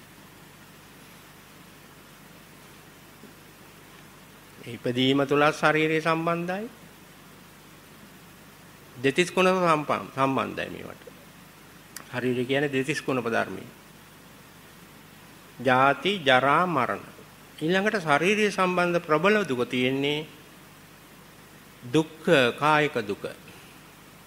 ජාති ජරා මරණ කායික දුක නෙමෙයි. නමුත් ශරීර සම්බන්ධයි. එතකොට දැන් කායික දුක කියන්නේ මේ තමන්ගේ ශරීරයෙන් ඇති වෙන අමිහිරි වේදනාව. අකමැති වේදනාව. දැන් ඒක ඕනම ශරීරයක් අයිති සත්වයකට පොදුයි. මේ දුකෙන් හැමෝම පෙළෙනවා. දැන් මේ වාඩි වෙලා හිටියත් ධනිස්සරි දෙනවා කොන්දරි දෙනවා ওই දුක. ඒ දුක හැබැයි කායික දුක. මේ දුක්ඛ කාරණා වලින් එකක්. දැන් මේ කායික දුක ඇති වෙන ක්‍රමය ගැන ඉගෙන ගන්නව කවුරුහරි. කවුද මේ කායික දුක ගැන වර්තමානයේ හොඳට දන්නේ අය? දුක් විඳපු අය නෙමෙයි. කායික දුක් විඳපු අය නෙමෙයි. වෛද්‍යවරු කියන්නේ අන්න අය. එහෙනම් මේ කායික දුක ගැන පරේෂණ පවත්වලා තමයි වෛද්‍යවරු බිහි වෙන්නේ. තේරෙනවනේ? දැන් ඒගොල්ලෝ දන්නවා මේ මොකක් හරි ගියාම අමාරුවක් නේද අහන්නේ. ඒ අමාරුව එයා විඳින්නේ නැතුවට ඒ අමාරුව එන විදිහක් දන්නවා. දුක ගැන දන්නවා. දුක්ඛං ජානාති පජානාති නෙමෙයි. තේරෙනවනේ? එතකොට මේ දුක ගැන දැනගත්තට එයා සම්මාදිට්ඨිලාභියෙක් වෙනවා. දැන් කායික දුක ගැන දැනගත්තට සම්මාදිට්ඨිලාභියෙක් වෙන්න පුළුවන්. පජානාති වෙන්න බෑ කායික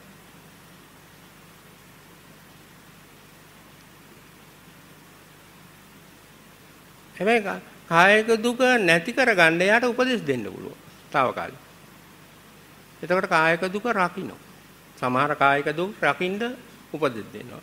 කායික දුක දුක රැක්කා කියලා සමාධිය ලැබෙන්නේ. ඇයි? දුක ගැන ඉගෙන ගන්න පුළුවන්.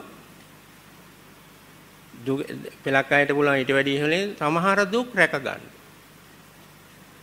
හැබැයි කායික දුක රැක ගන්න විතරයි දොස්තර මහත්තයාට උපදෙස් දෙන්න පුළුවන්. තේරෙනවනේ? ජාති දුක, ජරා දුක, මරණ දුක ඒවට බෑ.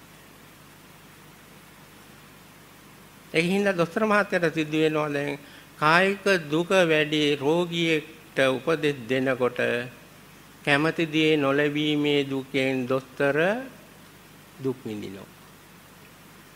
මොකද කැමැති දේ නොලැබීම. දැන් ඔන්න කයේ ලෙඩක් හැදිච්ච කෙනෙක් යනවා රෝගියෙක්. රෝගියා ගිහින් බෙහෙත් ගන්නවා. බෙහෙත් ගන්නකොට දැන් මේ රෝගියාට බෙහෙත් දෙන්න පුළුවන්. මොකද කායික දුක ගැන දොස්තර මහත්තයා දන්නවා. ඥානාති දුක්ඛං ඥානාති. හැබැයි දුක්ඛං ඥානාති වුණාට දොස්තර මහත්තයා දන්නේ නැහැ. කැමැතිදී නොලැබීමත් දුක ඒකෙන් දුකක් ඇති වෙනවා. තේරෙනවද? අර රෝගියා විනාඩි දෙක තුනකට වැඩිය වැඩියෙන් තක් ගැහෙනකොට දොස්තර ළඟ මොකද වෙන්නේ දොස්තරට? කැමතිනේ නොලැබීමේ දුකෙන් එහා පෙළෙනවා. මොකද එයා එන්නේ වැඩි ගාණක් හම්බ කරගෙන යන්න. මේකට දැන් කොක්ක වැටිලා කියලා කැමති දිහි ලැබින්නේ. මේ ලෙඩා යන්නේ නැහැ ඉක්මනින්. ඒතර දොස්තරට මොකද බෙහෙත් දෙන එකක් දුකක් නේද?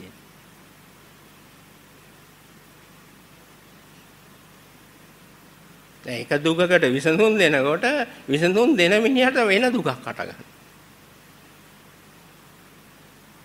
තේරෙනවනේ? දැන් ඔයගොල්ලන්ටත් උනේ තමයි බනහන් ආවා එක දුකකින් ආවට පස්සේ කොන්දරි දෙනවා. නෑ වෙන දුකක්. ඒක කායික දුකක්. ආවේ කැමති දේ ලබා ගන්න පිළියමක් විදිහට බණ අහන්න. එතකොට මේ දුක් ජාලා මෙන්න මේ කාරණා කිහිපය. එතකොට කාරණා තියෙන්නේ මෙතන ජාති, ඉපදීම, ජරාව, මරණය, ශෝකය, පරිදේවය, දුක්ඛ, දෝමනස්ස කැමැති දේ නොලැබීම. මේකේ ව්‍යාධිය කියලා දාලා තියෙනවා සමහර තැන්වල. එතකොට මෙතන 8ක් තියෙනවා මූලික කාරණා. ඔන්නේ කාරණා 8 සම්බන්ධ වෙලා තමයි සංසාරයේ සංසාරගත සත්වයකට දුකක් හටගන්නේ. තේරුණානේ? ඒ කාරණා අටෙන් දෙතිස් කුණප සහිත ශාරීරිය සම්බන්ධයි කාරණා හතරකට. ඒ හතර මුල්ම තුන. ජාති ජරා මරණයි කායික දුකයි.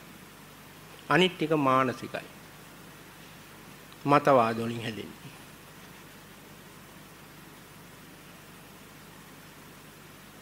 දැන් ඕක තමයි දුක. දුක්ඛං දුක්ඛංච වජානාති කියන්නේ ඕක නෙමෙයි. ওই ටික දැනගෙනතොත් හරියට ඉගෙන ගත්තොත් දුක්ඛං ජානාති. එතකොට සමහර දුක් දැන් දුක හුඟක් අය වරද්දනවා වරද්ද ගන්නවා මේ දුක සැප කියලා දෙකක් වෙනවා. එතකොට මේ මේ කියන කාරණා ටිකම සැපත් වෙනවා. මතය යනු, දිට්ඨිය යනු.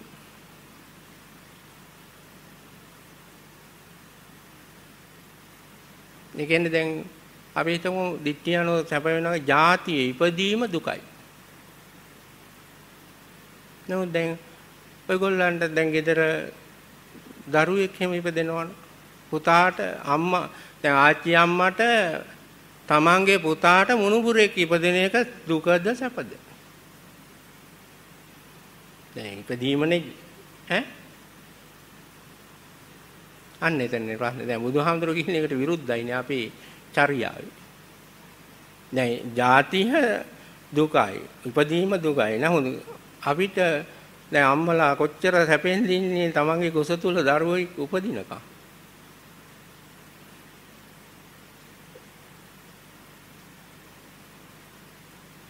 ඒක සැපක්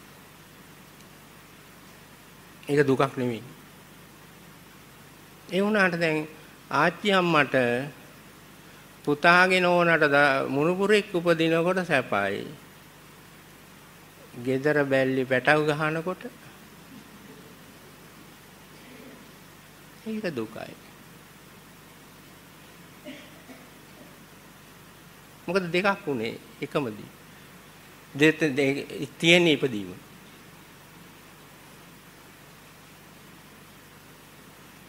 ඒක තමයි ආච්චි අම්මගේ නැහැදිච්ච එකම විද්‍යාව කියන්නේ. ඒ අන්න සම්මා දිට්ඨිය නැතිකම. මිත්‍යා දෘෂ්ටිය.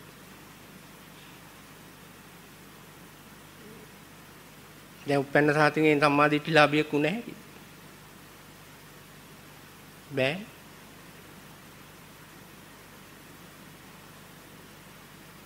එක සමහර ඉපදීම් සැපයි සමහර ඒවා දුකයි. දැන් බුදුහාමුදුරන්ට නම් එහෙම නෑ. සමාධිච්ඡේදී එහෙම නෑ. ඕනම ඉපදීමත් දුකයි.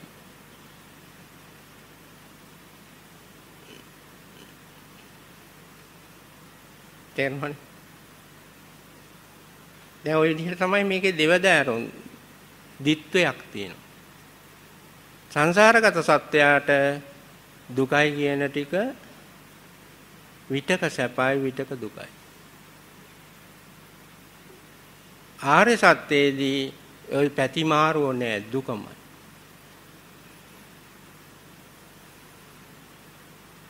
තේරෙනවනේ? එක එක වෙලාවට මාරු වෙන්නේ නෑ මේක. කලින් කාලට මාරු වෙන්නේ නෑ. දේශයෙන් දේශයට මාරු වෙන්නේ නෑ.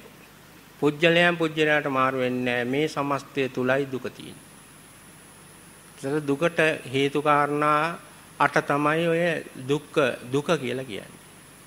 ඒකම සංසාරගත සත්‍යයට සැප වෙනවා. එතකොට සැපයි දුකයි කියන දෙක තීන්දුව වෙන්නේ ධර්මයේ බුදුහාමුදුරුවෝ සැපයි කියන තැන තියෙනවා මෙන්න මේ ලක්ෂණය. සැපයක් කියන තැන සැප කියන්නේ විඳීමක් විදිහට ගත්තොත් මේ විඳීමේ ස්වરૂපය අනුව නෙවෙයි සැප දුක තීරණය කරන්නේ ධර්මය. දැන් සතුට කියලා කියනවා දුකේ විරුද්ධ දේ. දැන් අනාගතේටත් වර්තමානයේ සිදු කරන දෙයකින් සතුටු වුණාට ඒ ඒ සතුටෙන් අනාගතයේ දුකක් බිහි වෙනවා නම් අන්න ඒකට ධර්මයේ කියනවා පව. කියන්නේ පව සිදු කරන්න පුළුවන් වර්තමානයේ පව සිදු කරනවා කර්මය. සිදු කරනවා සතුටෙන්. සතුටෙන් පව් කරනවා. දැන් සතුටෙන් පව් කරපුවාම උනා ඒ පවේ විපාකයේ දුකක්මයි අනාගතේ. ඒ කියන්නේ සත්තු මරණ මිනිහා මරණ සත්තු ගාන අනුව සතුටු වෙනවා. හොරකම් කරන මිනිහා හොරකම් කරන ප්‍රමාණය ගැන සතුටු වෙනවා. සතුටින් කරන්නේ. එයාට සතුටක් නැත්නම් හොරකම කරන්නේ සතුටු නැත්නම් සත්තු මරන්නේ එතකොට වේදනා ස්වરૂපයක් සතුට කියන්නේ. විඳීමක්. එතකොට පවත් පවතුලිනුත් අකුසලයක් සතුටු වේදනාවෙන් කර හැකියි. තේරුණානේ? ප්‍රශ්නේ තියෙන්නේ වර්තමානයේ සතුට තිබුණාට අනාගතයේ ඒකින්ද දුක එනවා. ତର වර්තමානයේ සතුටු වුණත් දුක් වෙලා වුණත් අනාගතයේ දුකක් උපදින තැන පවකි. තේරුණානේ? වර්තමානයේ දුකක් වින්දාත් වර්තමානයේ සතුටෙන් කරත් ඒකේ ප්‍රතිඵලය විපාකය සතුටක් සැපක්ම වෙන එක පිනකිය. එතකොට පින් කරන්නත් පුළුවන් සතුටෙන් කරන්නත් පුළුවන් පින් දුකෙන් කරන්නත් පුළුවන්. නමුත් ඒකේ වාසිය මොකක්ද? සතුටෙන් පින් කරා දුකෙන් කරා විඳීම මොකක් වුණත් අනාගතයේ ලැබෙන ඵලය සැප. තේරෙනවනේ? ඔය දැන් සතුටින් කරන හෝ දුකෙන් කරන පින්පව් දෙකට අවශ්‍ය වෙනවා ශාරීරික ක්‍රියාකාරකම්. ඔකත් දැනගන්න. කම්මන්ත ආජීව වාචා. ආරේෂ්ඨාංග මාර්ගයේ අංග තුනක් අන්තර්ගත වෙනවා.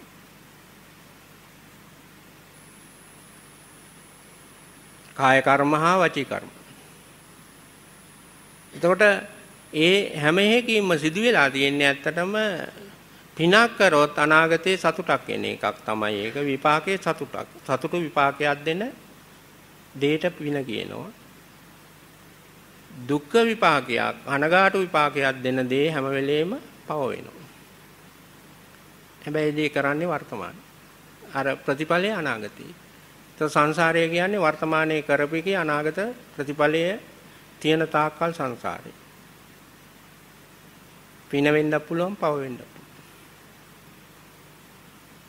දැන් ප්‍රශ්න තියෙන්නේ දැන් මේ දුක්ඛ ආර්ය සත්‍යයේදී දුකට ඔහොම සකස ගන්න පුළුවන් එකක් දුක ගැන ඉගෙන ගන්න පුළුවන් ඒවා නිකන් විසරද වෙන එක මහාචාර්යවරු බිහි වෙනවා එච්චරයි දුක ගැන දන්න. තේරෙනවනේ? වෙන මොකක් වාර්තයක් නැහැ. හැබැයි මහාචාරකම ලබා ගන්නත් දුක් විඳින්න. ලබාගෙනත් දුක් විඳිනවා.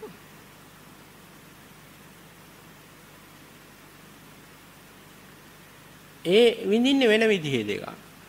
කැමැති දේ නොලැබීම වගේ දුකකින් පෙළෙනවා ඒගොල්ලෝ. එයා කැමැති මිනිසුන්ට මේ මේක දුකක් කියලා කියා දෙන්න. නමුත් කියා දෙන්න ගන්න ක්‍රියාමාර්ග සාර්ථක නැහැ.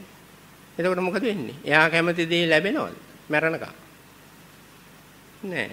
දුක ගැන ඉගෙනගෙන එහෙනම් දුකේ කෙලවරට යන්න බෑ. තේරුණානේ? ඊට වැඩිය දැන් මිනිස්යන්ට පුළුවන් අනාගතයේ දුක බිහි වෙන ඒවා අඩු කරන්න. සමහර දුක් සතර අපායේ දුක් අඩු කරන්න. දැන් ඉන්නේ manussත්වයේනේ. සතර අපායේ කියන්නේ අනාගතේනේ දුක වෙන්නේ. ඒ දුක අඩු කරන්න ක්‍රියාමාර්ගය තමයි සිල් රැකීම. එහෙනම් සීලය කියන්නේ අනාගතේ සතර අපායේ දුක් අඩු කරන ක්‍රමයක්. තේරුණාද? එතන දුක්ඛංච පජානාති නෙවෙයි දුක්ඛං රක්කති එතකොට. සමහර දුකක් අපාය දුක රකින්නවා. පන්සිල් රැක්කම මිනිස්සේ අපාය දුක රකින්නවා. එතකොට කාම ලෝකයේම දුක යටපත් කරන්න පුළුවන් තව විදිහකට. එතකොට රූපාවචර දුක විතරයි ඉතුරු වෙන්නේ. රූපාවචර අරූපාවචර. එතකොට තුන්වෙනි කාරණේ දුකට කරන්න පුළුවන් ඔන්න ඒ කාරණේ දුක යටපත් කරයි. දුක යටපත් කරන එකට තමයි ධාන කියන්නේ. සමත ධාන. හැබැයි ඒ යටපත් කරන්නේ මොන දුකද? කාම ලෝකයේ අන්තර්ගත දුකයි. යටපත් කරන්න පුළුවන් එච්චරයි. කාම ලෝකයේ ඒක තමයි ප්‍රබලම දුකට කරන්න පුළුවන්, මනුස්සයට කරන්න දුකට කරන්න පුළුවන් උසස්ම බුදුහාමුදුරුව පහළ වෙන්න පෙර උසස්ම ක්‍රියාවලිය. බුද්ධත්වයෙන් අවබෝධ කරගන්න බුද්ධත්වය අවබෝධ කරගන්න පෙර ශ්‍රේෂ්ඨ මිනිස්සු දන්නේ උත්තරීතර මිනිස්සය උනේ දුක යටපත් කරගෙන කාම ලෝකයේ දුක යටපත් කරගෙන කාම ලෝකයේ දුක යටපත් කරගෙන ඉන්නේ සංසාරගත සත්‍යයන්ට කියනවා බ්‍රහ්ම. එතකොට මිනිස්සේ කාම ලෝකයේ දුක తాවකාලිකව යටපත් කරන එකට කියනවා සමත ධාන. සමත ධාන කියන්නේ බ්‍රහ්මත්වේ ඩුප්ලිකේට් එකක්. මනුස්සත්වයේ තුල తాවකාලිකව ගන්නෙ ප්‍රතිඵලය. ඒක පුරුදු පුහුණු කිරීලා ඒ ඒ සමත ධාන වලින් පිරිහෙන්නේ නැතුව මැරුණොත් එයාට උරුම වෙන්නේ බ්‍රහ්ම දුක විතරයි. මනුස්ස දුක නැහැ, දේව දුක නැහැ, සතර අපා දුක නැහැ. කෙටි කාලයක්. කෙටි කාලයක් කියන්නේ తాවකාලිකව. ඔන්න දුකට ඒ රැකලා. ඔතනත් නෑ පජානාති. තේරෙනවනේ. එහෙනම් දුක පජානාති වෙච්ච තැන් නැති තැන් තුනක් ඔය තියෙන්නේ. දුක ගැන ඉගෙන ගත්තට සරියුත් හාමුදුරුවෝ කියන පජානාති ගුණේ නෑ. දුක ගැන මෙන්න මේවා දුක් කියලා ඉගෙනගෙන ඒ සමහර දුක් රැක්කට සිල් රැක්කට එතන පජානාති නෙමෙයි. කාමාවචර දුක් සියලු දුක් යටපත් කරගත්තට පජානාති නෙමෙයි. තේරුණාද? ඉතින් තමන් කොතනද ඉන්නේ කියලා දැනගන්න. තමන්ගේ මහන්සිය ওই තුනෙන් එකකට. නිකම් මහන්සි නෙවෙයි ඔය තුනෙන් එකක් අල්ලගෙන මං සම්මාදිට්ඨිලාභියෙ කියලා හිතන කෙනා මිත්‍යා දෘෂ්ටි. එයාට ඇති සම්මාදිට්ඨියක් නැහැ. මේක තමයි මේ සරියුත් හාමුදුරුවෝ දේශනා කරන ධර්ම. දුක ගැන ඉගෙන ගත්ත තැන සම්මාදිට්ඨිය නෑ. ඒක විතරක් ප්‍රමාණවත් නෑ. දුක ගැන ඉගෙනගෙන සමහර දුක් රැක්කට සම්මාදිට්ඨිය නෑ දුක රකින්නවා කියන එකමයි සීලී.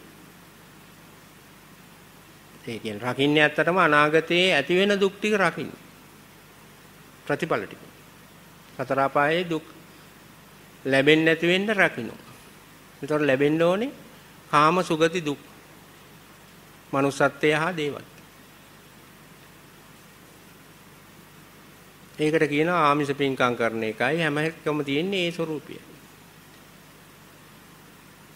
ඊට අමතරව ඊට වැඩිය වඩා වඩා ශ්‍රේෂ්ඨ දෙයක් තමයි කාමාවචර දුක යටපත් කරන එක. ඒක කරන්නේ සමත භාවනාව. දැන් මෛත්‍රී භාවනාව වුණත් හරියට කරපුවා වෙන්නේ අර හරියට කරන කෙනාට සතුටක් එන්නේ මොකද්ද? తాවකාලිකව දුකය කාමාවචර දුක යටපත් වෙන්නේ. එයා භාවනාවෙන් ඉවරුණාට පස්සේ මොකද වෙන්නේ? නැගිට්ටට පස්සේ මොකද වෙන්නේ? ආය අර දුක හැමම තියෙනවා. දැන් සම්මාදිට්ඨි ලාභියගේ ඔය ස්වરૂප තුනම නෑ. ඊට වැඩිය වෙනස් ස්වરૂපයක් තියෙන්නේ පජානාති. එතකොට මේක කෙටියෙන් ගන්නවා නම් දැන් දුක් මේ දුක් තියෙනවා ගණනාවක්. ජාති දුක, ජරා දුක, මරණ දුක, ශෝක දුක, පරිදේව දුක, ඒ වගේම දුක්ඛ දුක, දෝමනස්ස දුක, කැමති දේ නොලැබීමේ දුක. මේවට තව කෑලි දාලා එක එක සූත්‍රවල තියෙනවා. නමුත් මේ ටික තමයි ප්‍රධාන ටික. දැන් ව්‍යාධිය කියන එක ජරා දුකෙන්මට පිලක් වෙලාට ගන්න. ජරාව කියන්නේ වෙනස් වීම. ලෙඩ කියන්නේ වෙනස් වීමෙන් ඇතිවෙච්ච ඵලයක්. ඒක දුක. කායිකෝමී දැන් ඉස්සෙල්ලම බුදුහාමුදුරුවෝ අවබෝධ කරගෙන තියෙන්නේ මේ දුකෙන් දුකට හේතුව තණ්හාව බව අවබෝධ කරගන්න ආර්ය අෂ්ටාංග මාර්ගය වැඩෙන්න එපේ. මේකෙන් එක දුකක් තමයි මේකේ මූලික කරගන්න. අනිත් දුක් ගැන නැතුව කායික දුක. තේරෙනව නේද? ඒ කියන්නේ හයවෙනි දුක. කායික දුක කියන්නේ මොකද්ද? දෙතිස් කුණපෝල නිසාවෙන් Tamanට අයිති මස් ඇටලේ හිඳ ඇති වෙන දුක. තේරුණානේ? දැන් දැන් මේ වාඩි වෙලා ඉන්නකොට දැනෙන්නේ මොනවද? කොන්ද රිදෙන එක කායික දුක. කකුල් රිදෙන එක කායික දුක. ඒ වගේ ශාරීරියේ දැනෙන අමිහිරි වේදනාවක් දුකක්. ඔන්න ඔය දුක නැති කරන එක තමයි මුලින්ම කරන්නේ. ඉන්නේ දුක නැතිකරන්න උදව් වෙන්නේ කායානුපස්සනාව. තේරෙනවනේ?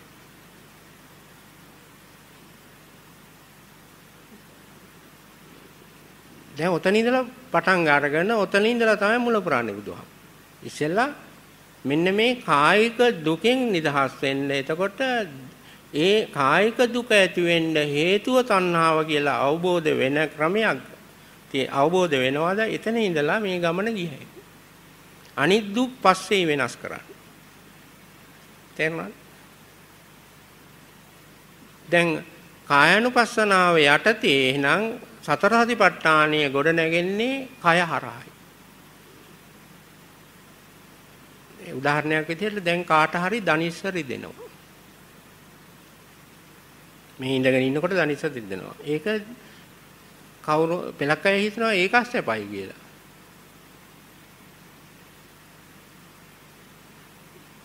එහෙමනම් ඊට වැඩිය ප්‍රබල දුකක් එතන අන්තර්ගත වෙන්නේ.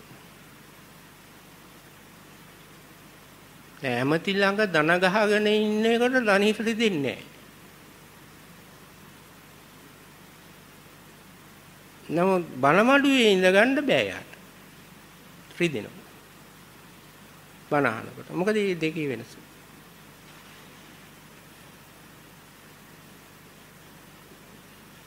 ඇමති ළඟ දන ගැහුවේ මොකටද? දැවැන්ත ලෙස පෙළුණු දුකකින් මිදෙන ක්‍රමයකට. මොකද දැවැන්ත දුක. කැමති දේ නොලැබීම ඉෂ්ට කරගන්න ඉෂ්ට දේවතාව ළඟට ගිහිල්ලා වැඳගෙන ඉන්නේ. තේරෙනවනේ? එතකොට ඒ දුක ප්‍රබල හින්දා දනිසරි දෙන එක නොසලකා. දැන් බණහන්න ඉඳගෙනකොට පුටු ඕනේ. දේවාලයට ගිහිල්ලා කපුවාතෝ ස්තෝත්‍රය කියනකොට මොන පුටුවක් වන්නේ නිකම් බිම ඉඳගෙන ඉන්නේ. ඔන්න සම්මාදිට්ඨිලාභීන්ගේ ලක්ෂණ ලංකාවේ. මොකද ඒ කැමැති දේ ලැබෙන එකට දෙවිය ළඟ වැඳගෙන හිටියයි. තේරෙනවද? ඔය දෙවියා කියන කෙනා බුදුහාමුදුරන්ට වැඩිය උසස් එයා.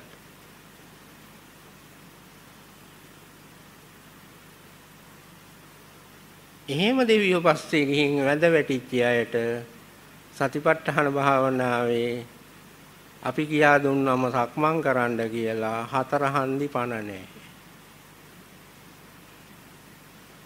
තේරෙනවනේ ඔය අද බලන්න පුළුවන්. නවකයන්ගෙනුත් බලන්න පුළුවන් හතර හන්දි පණ නැහැ. නමුත් දෙවිය පස්සේ යනවා තනි යන්නේ.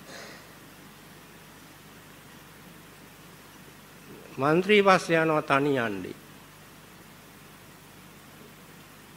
මොන දැන් මොකද එයාට විශ්වාස දුක නැති ක්‍රමේ ඒකයි. නැති වෙන්නේ ඒකෙන්. බුදුහාඳුර කියන ධර්මයේ විශ්වාස නැහැ. තේරෙනවනේ? දැන් අද වුණත් බලන්නකො මේ මේක ඉවරුණාට පස්සේ ඔය මං කියන ලක්ෂණ තියෙනවා කට්ටිය.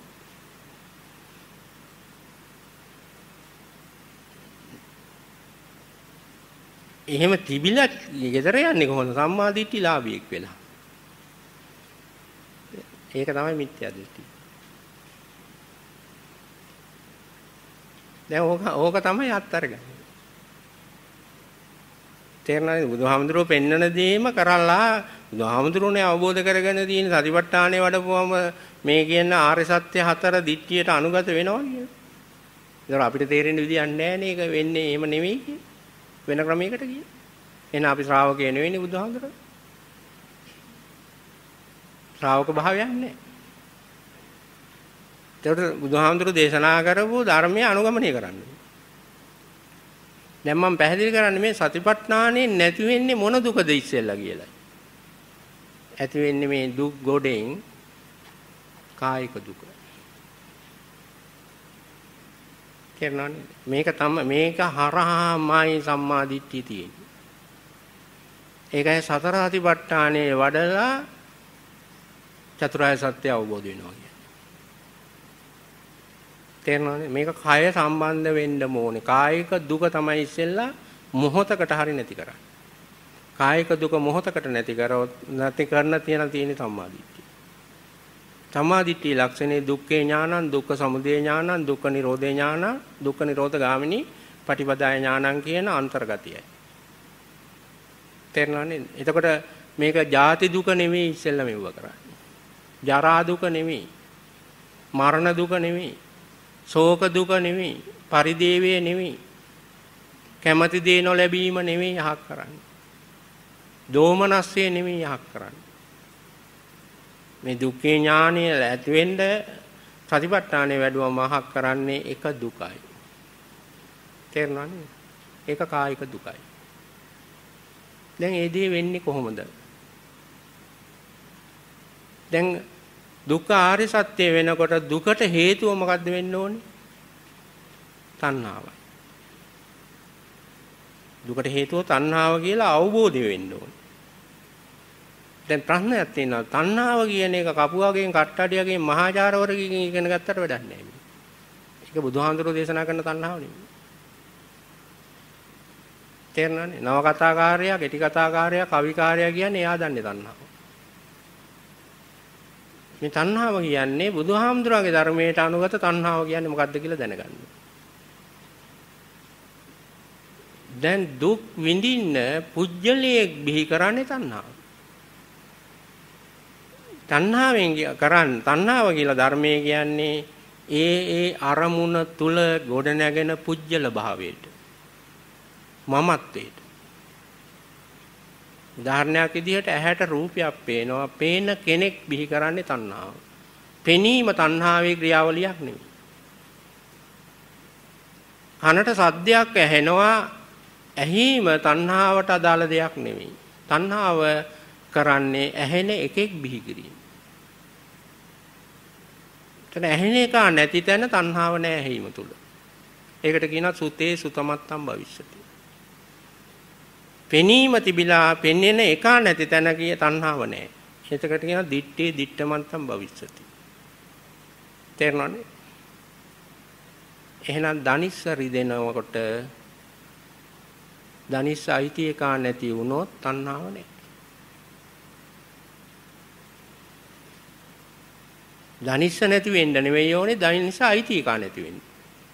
කොන්දරි දෙනකොට කොන්ද අයිති එක නැති තැන තණ්හාව තියෙන්න බෑ.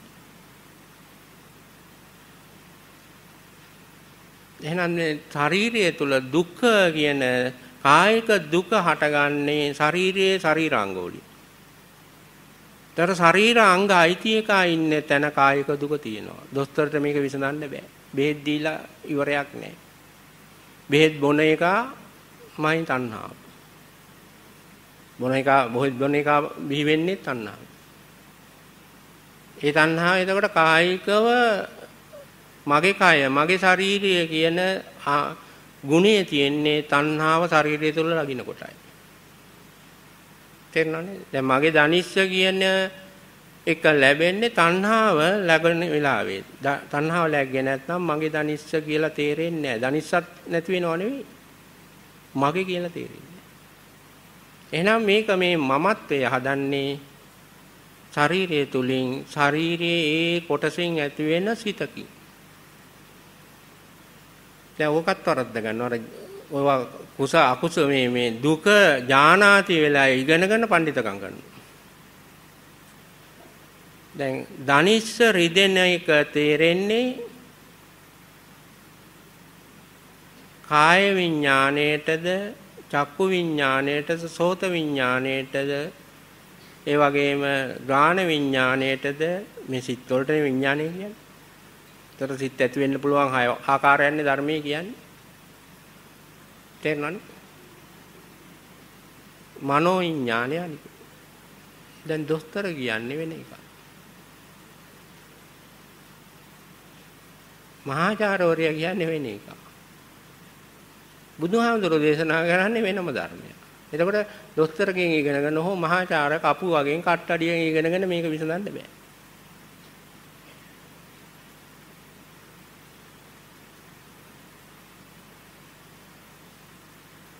දැන් ධනිස්ස රිදෙන එක ධනිස්ස රිදෙන්න තේරෙන්නේ රිදීම කියන එක ධම්මයක්. වේදනාව. වේදනාව ධම්ම කියන්නේ සිත තුල හටගන්නේ චෛතසිකයට. දැන් වේදනා කියන චෛතසිකය ආත්ම වුණොත් අන්න එතන තමයි ධනිස රිදෙන්නේ. මගේ වෙන්නේ. මේ ධම්ම ආත්ම වීමෙන් තමයි මගේ වෙන්නේ. ධම්ම නැතිවීමෙන් නෙවෙයි මගේ තත්ත්වයක් වෙන්නේ ධම්ම අනාත්ම වෙන්නේ. තේරෙනවනේ? ධම්ම කියන ඒවා සිතක් තුල හටගන්නේ දී. එහෙනම් ධනිස්ස රිදෙනකොට ඒ සිත හටගන්නේ ධනිස්සෙන්. ඒක මනෝ විඥාණයට අයිති සිතක් නෙවෙයි. ඒ සිත කාය විඥාණයට අයිති. තේරෙනවද? දැන් අරගොල්ලෝ කියන විදිහට අනි ඔක විශ්වාස කරන්නේ නැහැ. මොකද උගච්චම හින්දා. මේ නෑ ධනිස්ස රිදෙන්නේ මනසට. මනෝ විඥාන. මනසට තේරෙන්නේ. එහෙම ධර්මයක් නෑ. එහෙම විශ්වාස කරන කෙනාට ওই සතිපට්ඨානයේ වඩන එකේ වටිනාකම තේරෙන්නේ නැහැ. හරකා වගේ සක්මන් කර. හේතු ඇයි? දැන් බලන්නකො කකුලක් නැති මිනිහෙකුට ධනිසරි දෙයිද?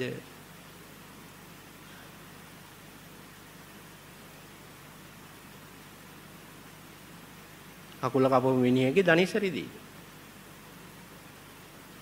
කකුල කැපුවා කියලා මනෝවිඤ්ඤාණේ නැද්ද?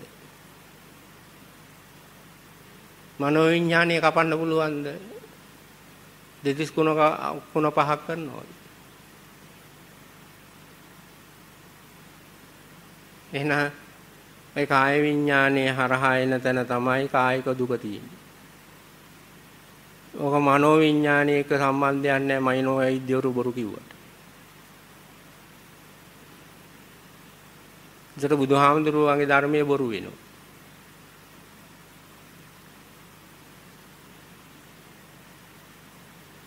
එහෙමනම් දැන් සතිපට්ඨානයේ වඩලා බුදුහාමුදුරුවෝ බලාපොරොත්තු වෙන්නේ මොකද්ද කියලා බලන්න.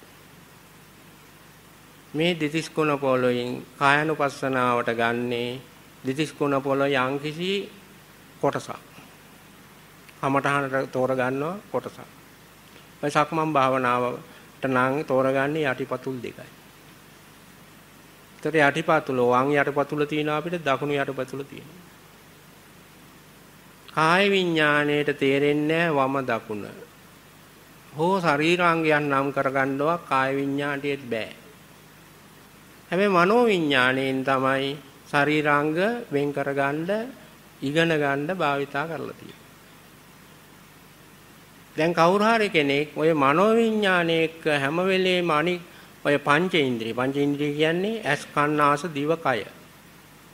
කයයි කාය විඤ්ඤාණයක හැම වෙලේම දෙවනුව මනෝවිඤ්ඤාණය ඇවිදින් තමයි අපි රවට්ටන්නේ.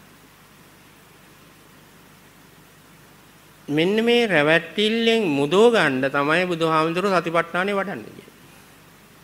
ඒ කියන්නේ කාය විඥානය මනෝ විඥානය ජෝඩු වෙන එක නවත්තන්න. එතකොට කාය විඥාණයට දෙන බොරු අර්ථකතන බොරු ඒවා දෙන්නේ මනෝ විඥානය.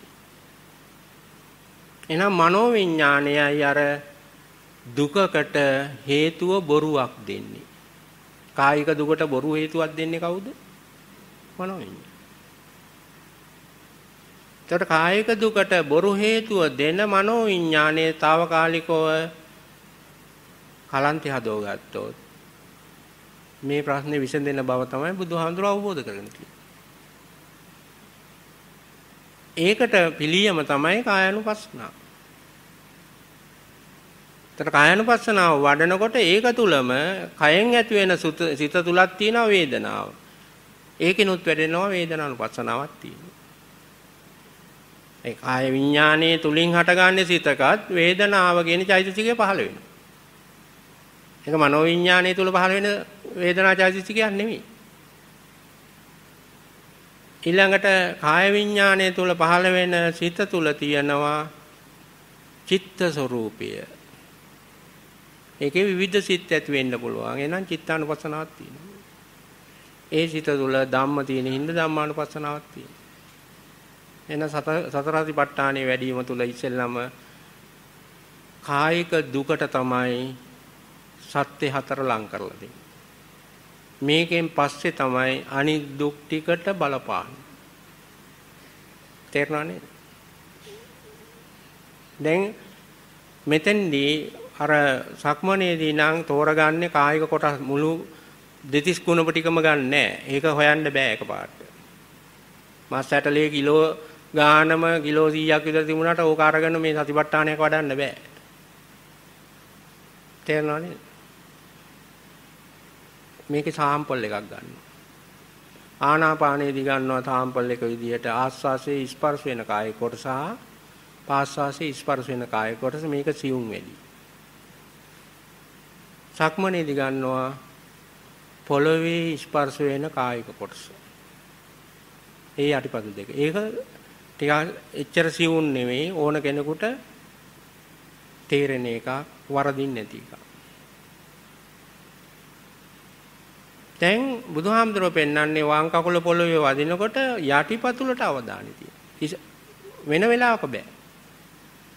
පොළවේ ස්පර්ශ වෙන වෙලාවේ අවධානය තියෙනවා යටිපතුලට තේරෙන්නේ මොනවද? එතනින් ඇති තේරෙන්නේ යමක් යටිපතුලෙන් ඇති වෙන සිතකින් කාය විඥානය හරහා ඇති වෙන සිතට තමයි තේරෙන්නේ. දැන් ඔය ක්‍රියාවලියම බහුලීගත කරනවා. ඔක තමයි සක්මන් භාවනාව. ඒකෙන් මෙහෙම වෙන්න ඕනේ. එතකොට මේකේ අර සතිය උත්සාහය හා සීකල්පනාව යොදන්නේ කකුල බිම වදිනකොට විතරයි. වැදුනට පස්සේ වැඩකුත් නෑ මේකේ ඉස්සෙල්ල වැඩකුත් නෑ. දැන් එතකොට කාය විඥානේ පහළ වෙන අර ස්පර්ශ වෙන හැම තැනදීම කාය විඥානේ යටිපතුලෙන් උපදින සිද්ධන හෝදිසියෙන් ඉන්න එකයි මේක කරන්නේ. ඒක ඒ ප්‍රතිඵලයේ ඒක දිගක් වෙනකොට දැන් කකුලේ යටිපතුල පොළවේ වදිනකොට එහෙමනම් මනෝවිඤ්ඤාණයෙන් අරමුණු වෙන්නේ නැහැ ඉතින්. ඒ අරකට තන දීලා තියෙන හින්දා. චක්කු විඤ්ඤාණයෙන් අරමුණු වෙන්නේ නැහැ. සෝත විඤ්ඤාණයෙන් එන්නේ නැහැ. ශරීරේනොත් වෙන කොන්දෙන් ඔළුවෙන් ඒ වගේ තැනක එන්න දෙන්නේ නැහැ. මොකද අපි අවධානය දෙන්න ඕනේ අතෙන්ට. අරවා අමතක කරනවා. ගණන් ගන්න නැතුව ඉන්නේ. ඔක ඉතින් බහුලීගත කිරීම තුළ ලැබෙන ඵලයක්. නමුත් දැන් වම් කකුල පොළවේ වදිනකොට විතරයි අවධානය තියෙන්නේ ඊට පස්සේ ආය අවධානයක් ඕන වෙන්නේ ඊට පස්සේ දකුණු කකුල වදින. ඒ අතරතුර අනික් ඕන මේකින් අරමුණු වෙයි. ඒව නැති කරන එක නෙවෙයි භාවනාව. හුඟක් අය ඔන්න වරද්ද ගන්න ඔන්න ඔතන.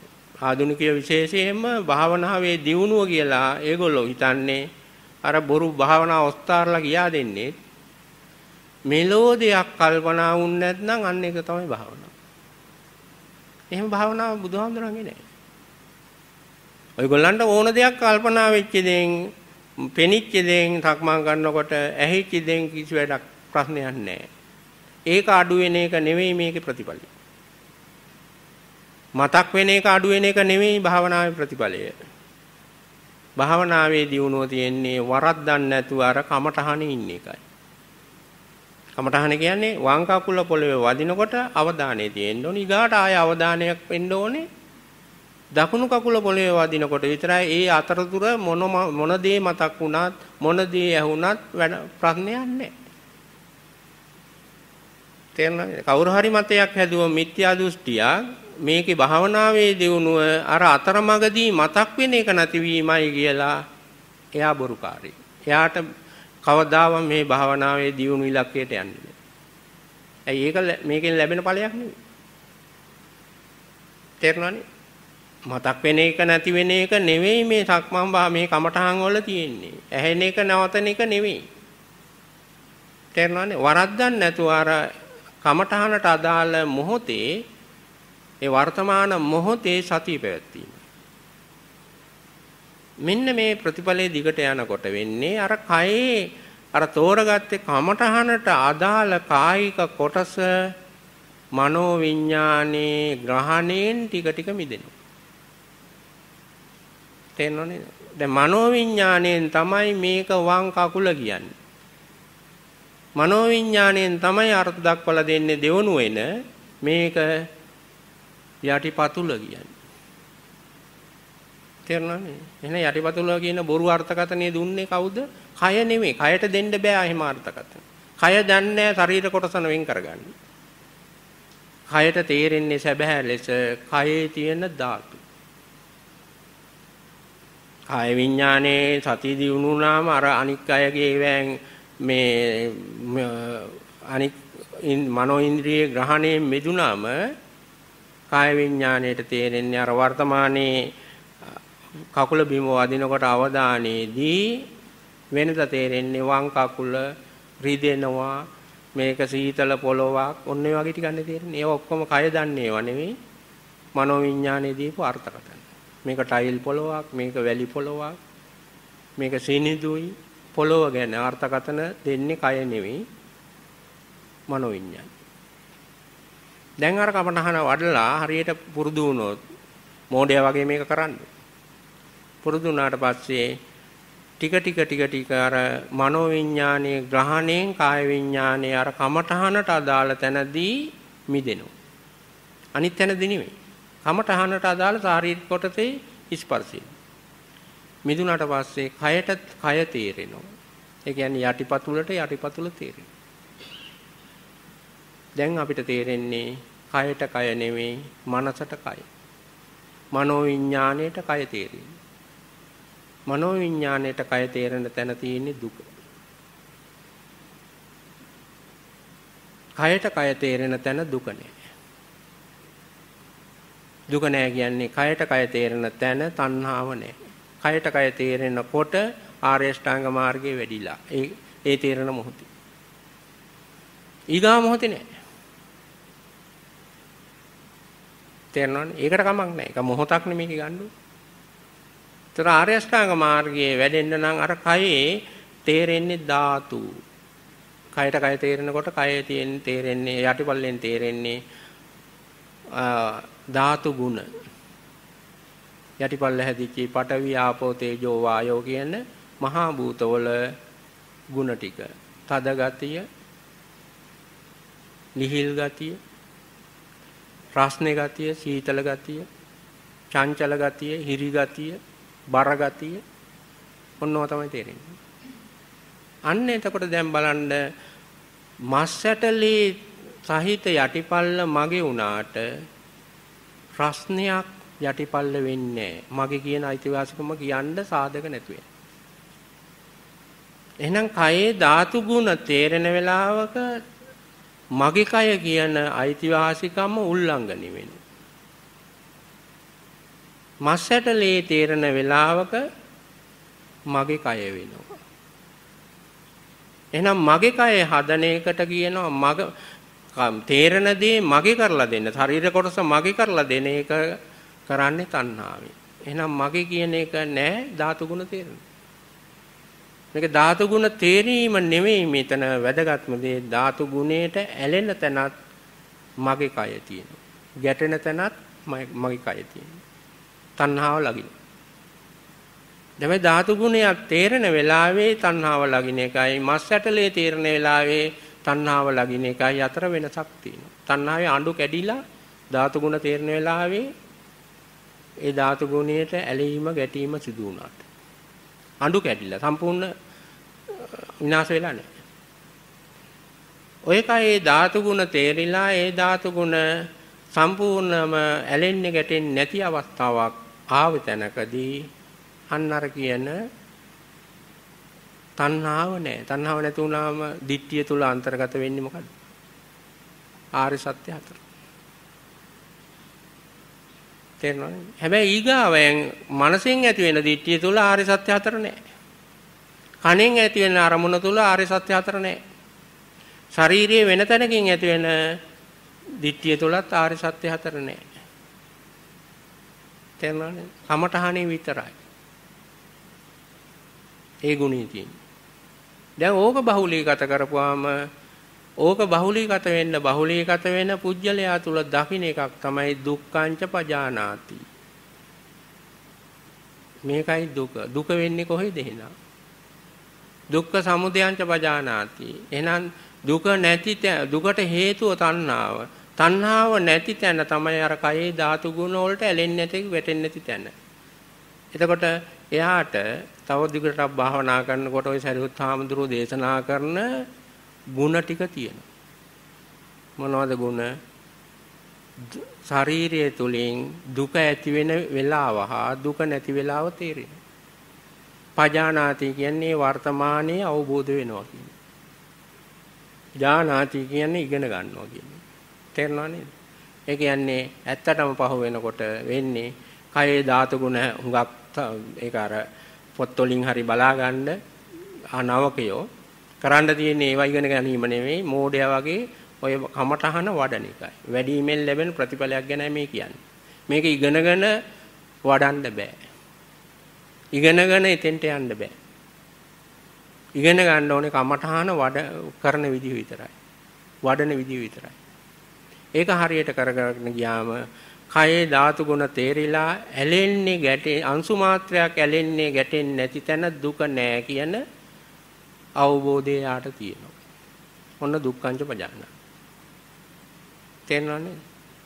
ධාතු ගුණය තේරෙනවා ඒකට පුංචි ඇලීමක් හෝ අංශු මාත්‍ර ඇලීමක් හෝ ගැටීමක් තියෙන්නේ තණ්හාව. මම එතන මගේ කියන ස්වરૂපය ඇති වෙනවා කියලා තේරෙනවා.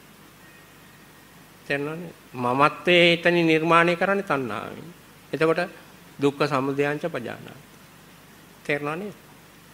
එතකොට තණ්හාව නැති තැන ඇලෙන්නේ ගැටෙන්නේ නැති තැන නේ ලැබෙන්නේ.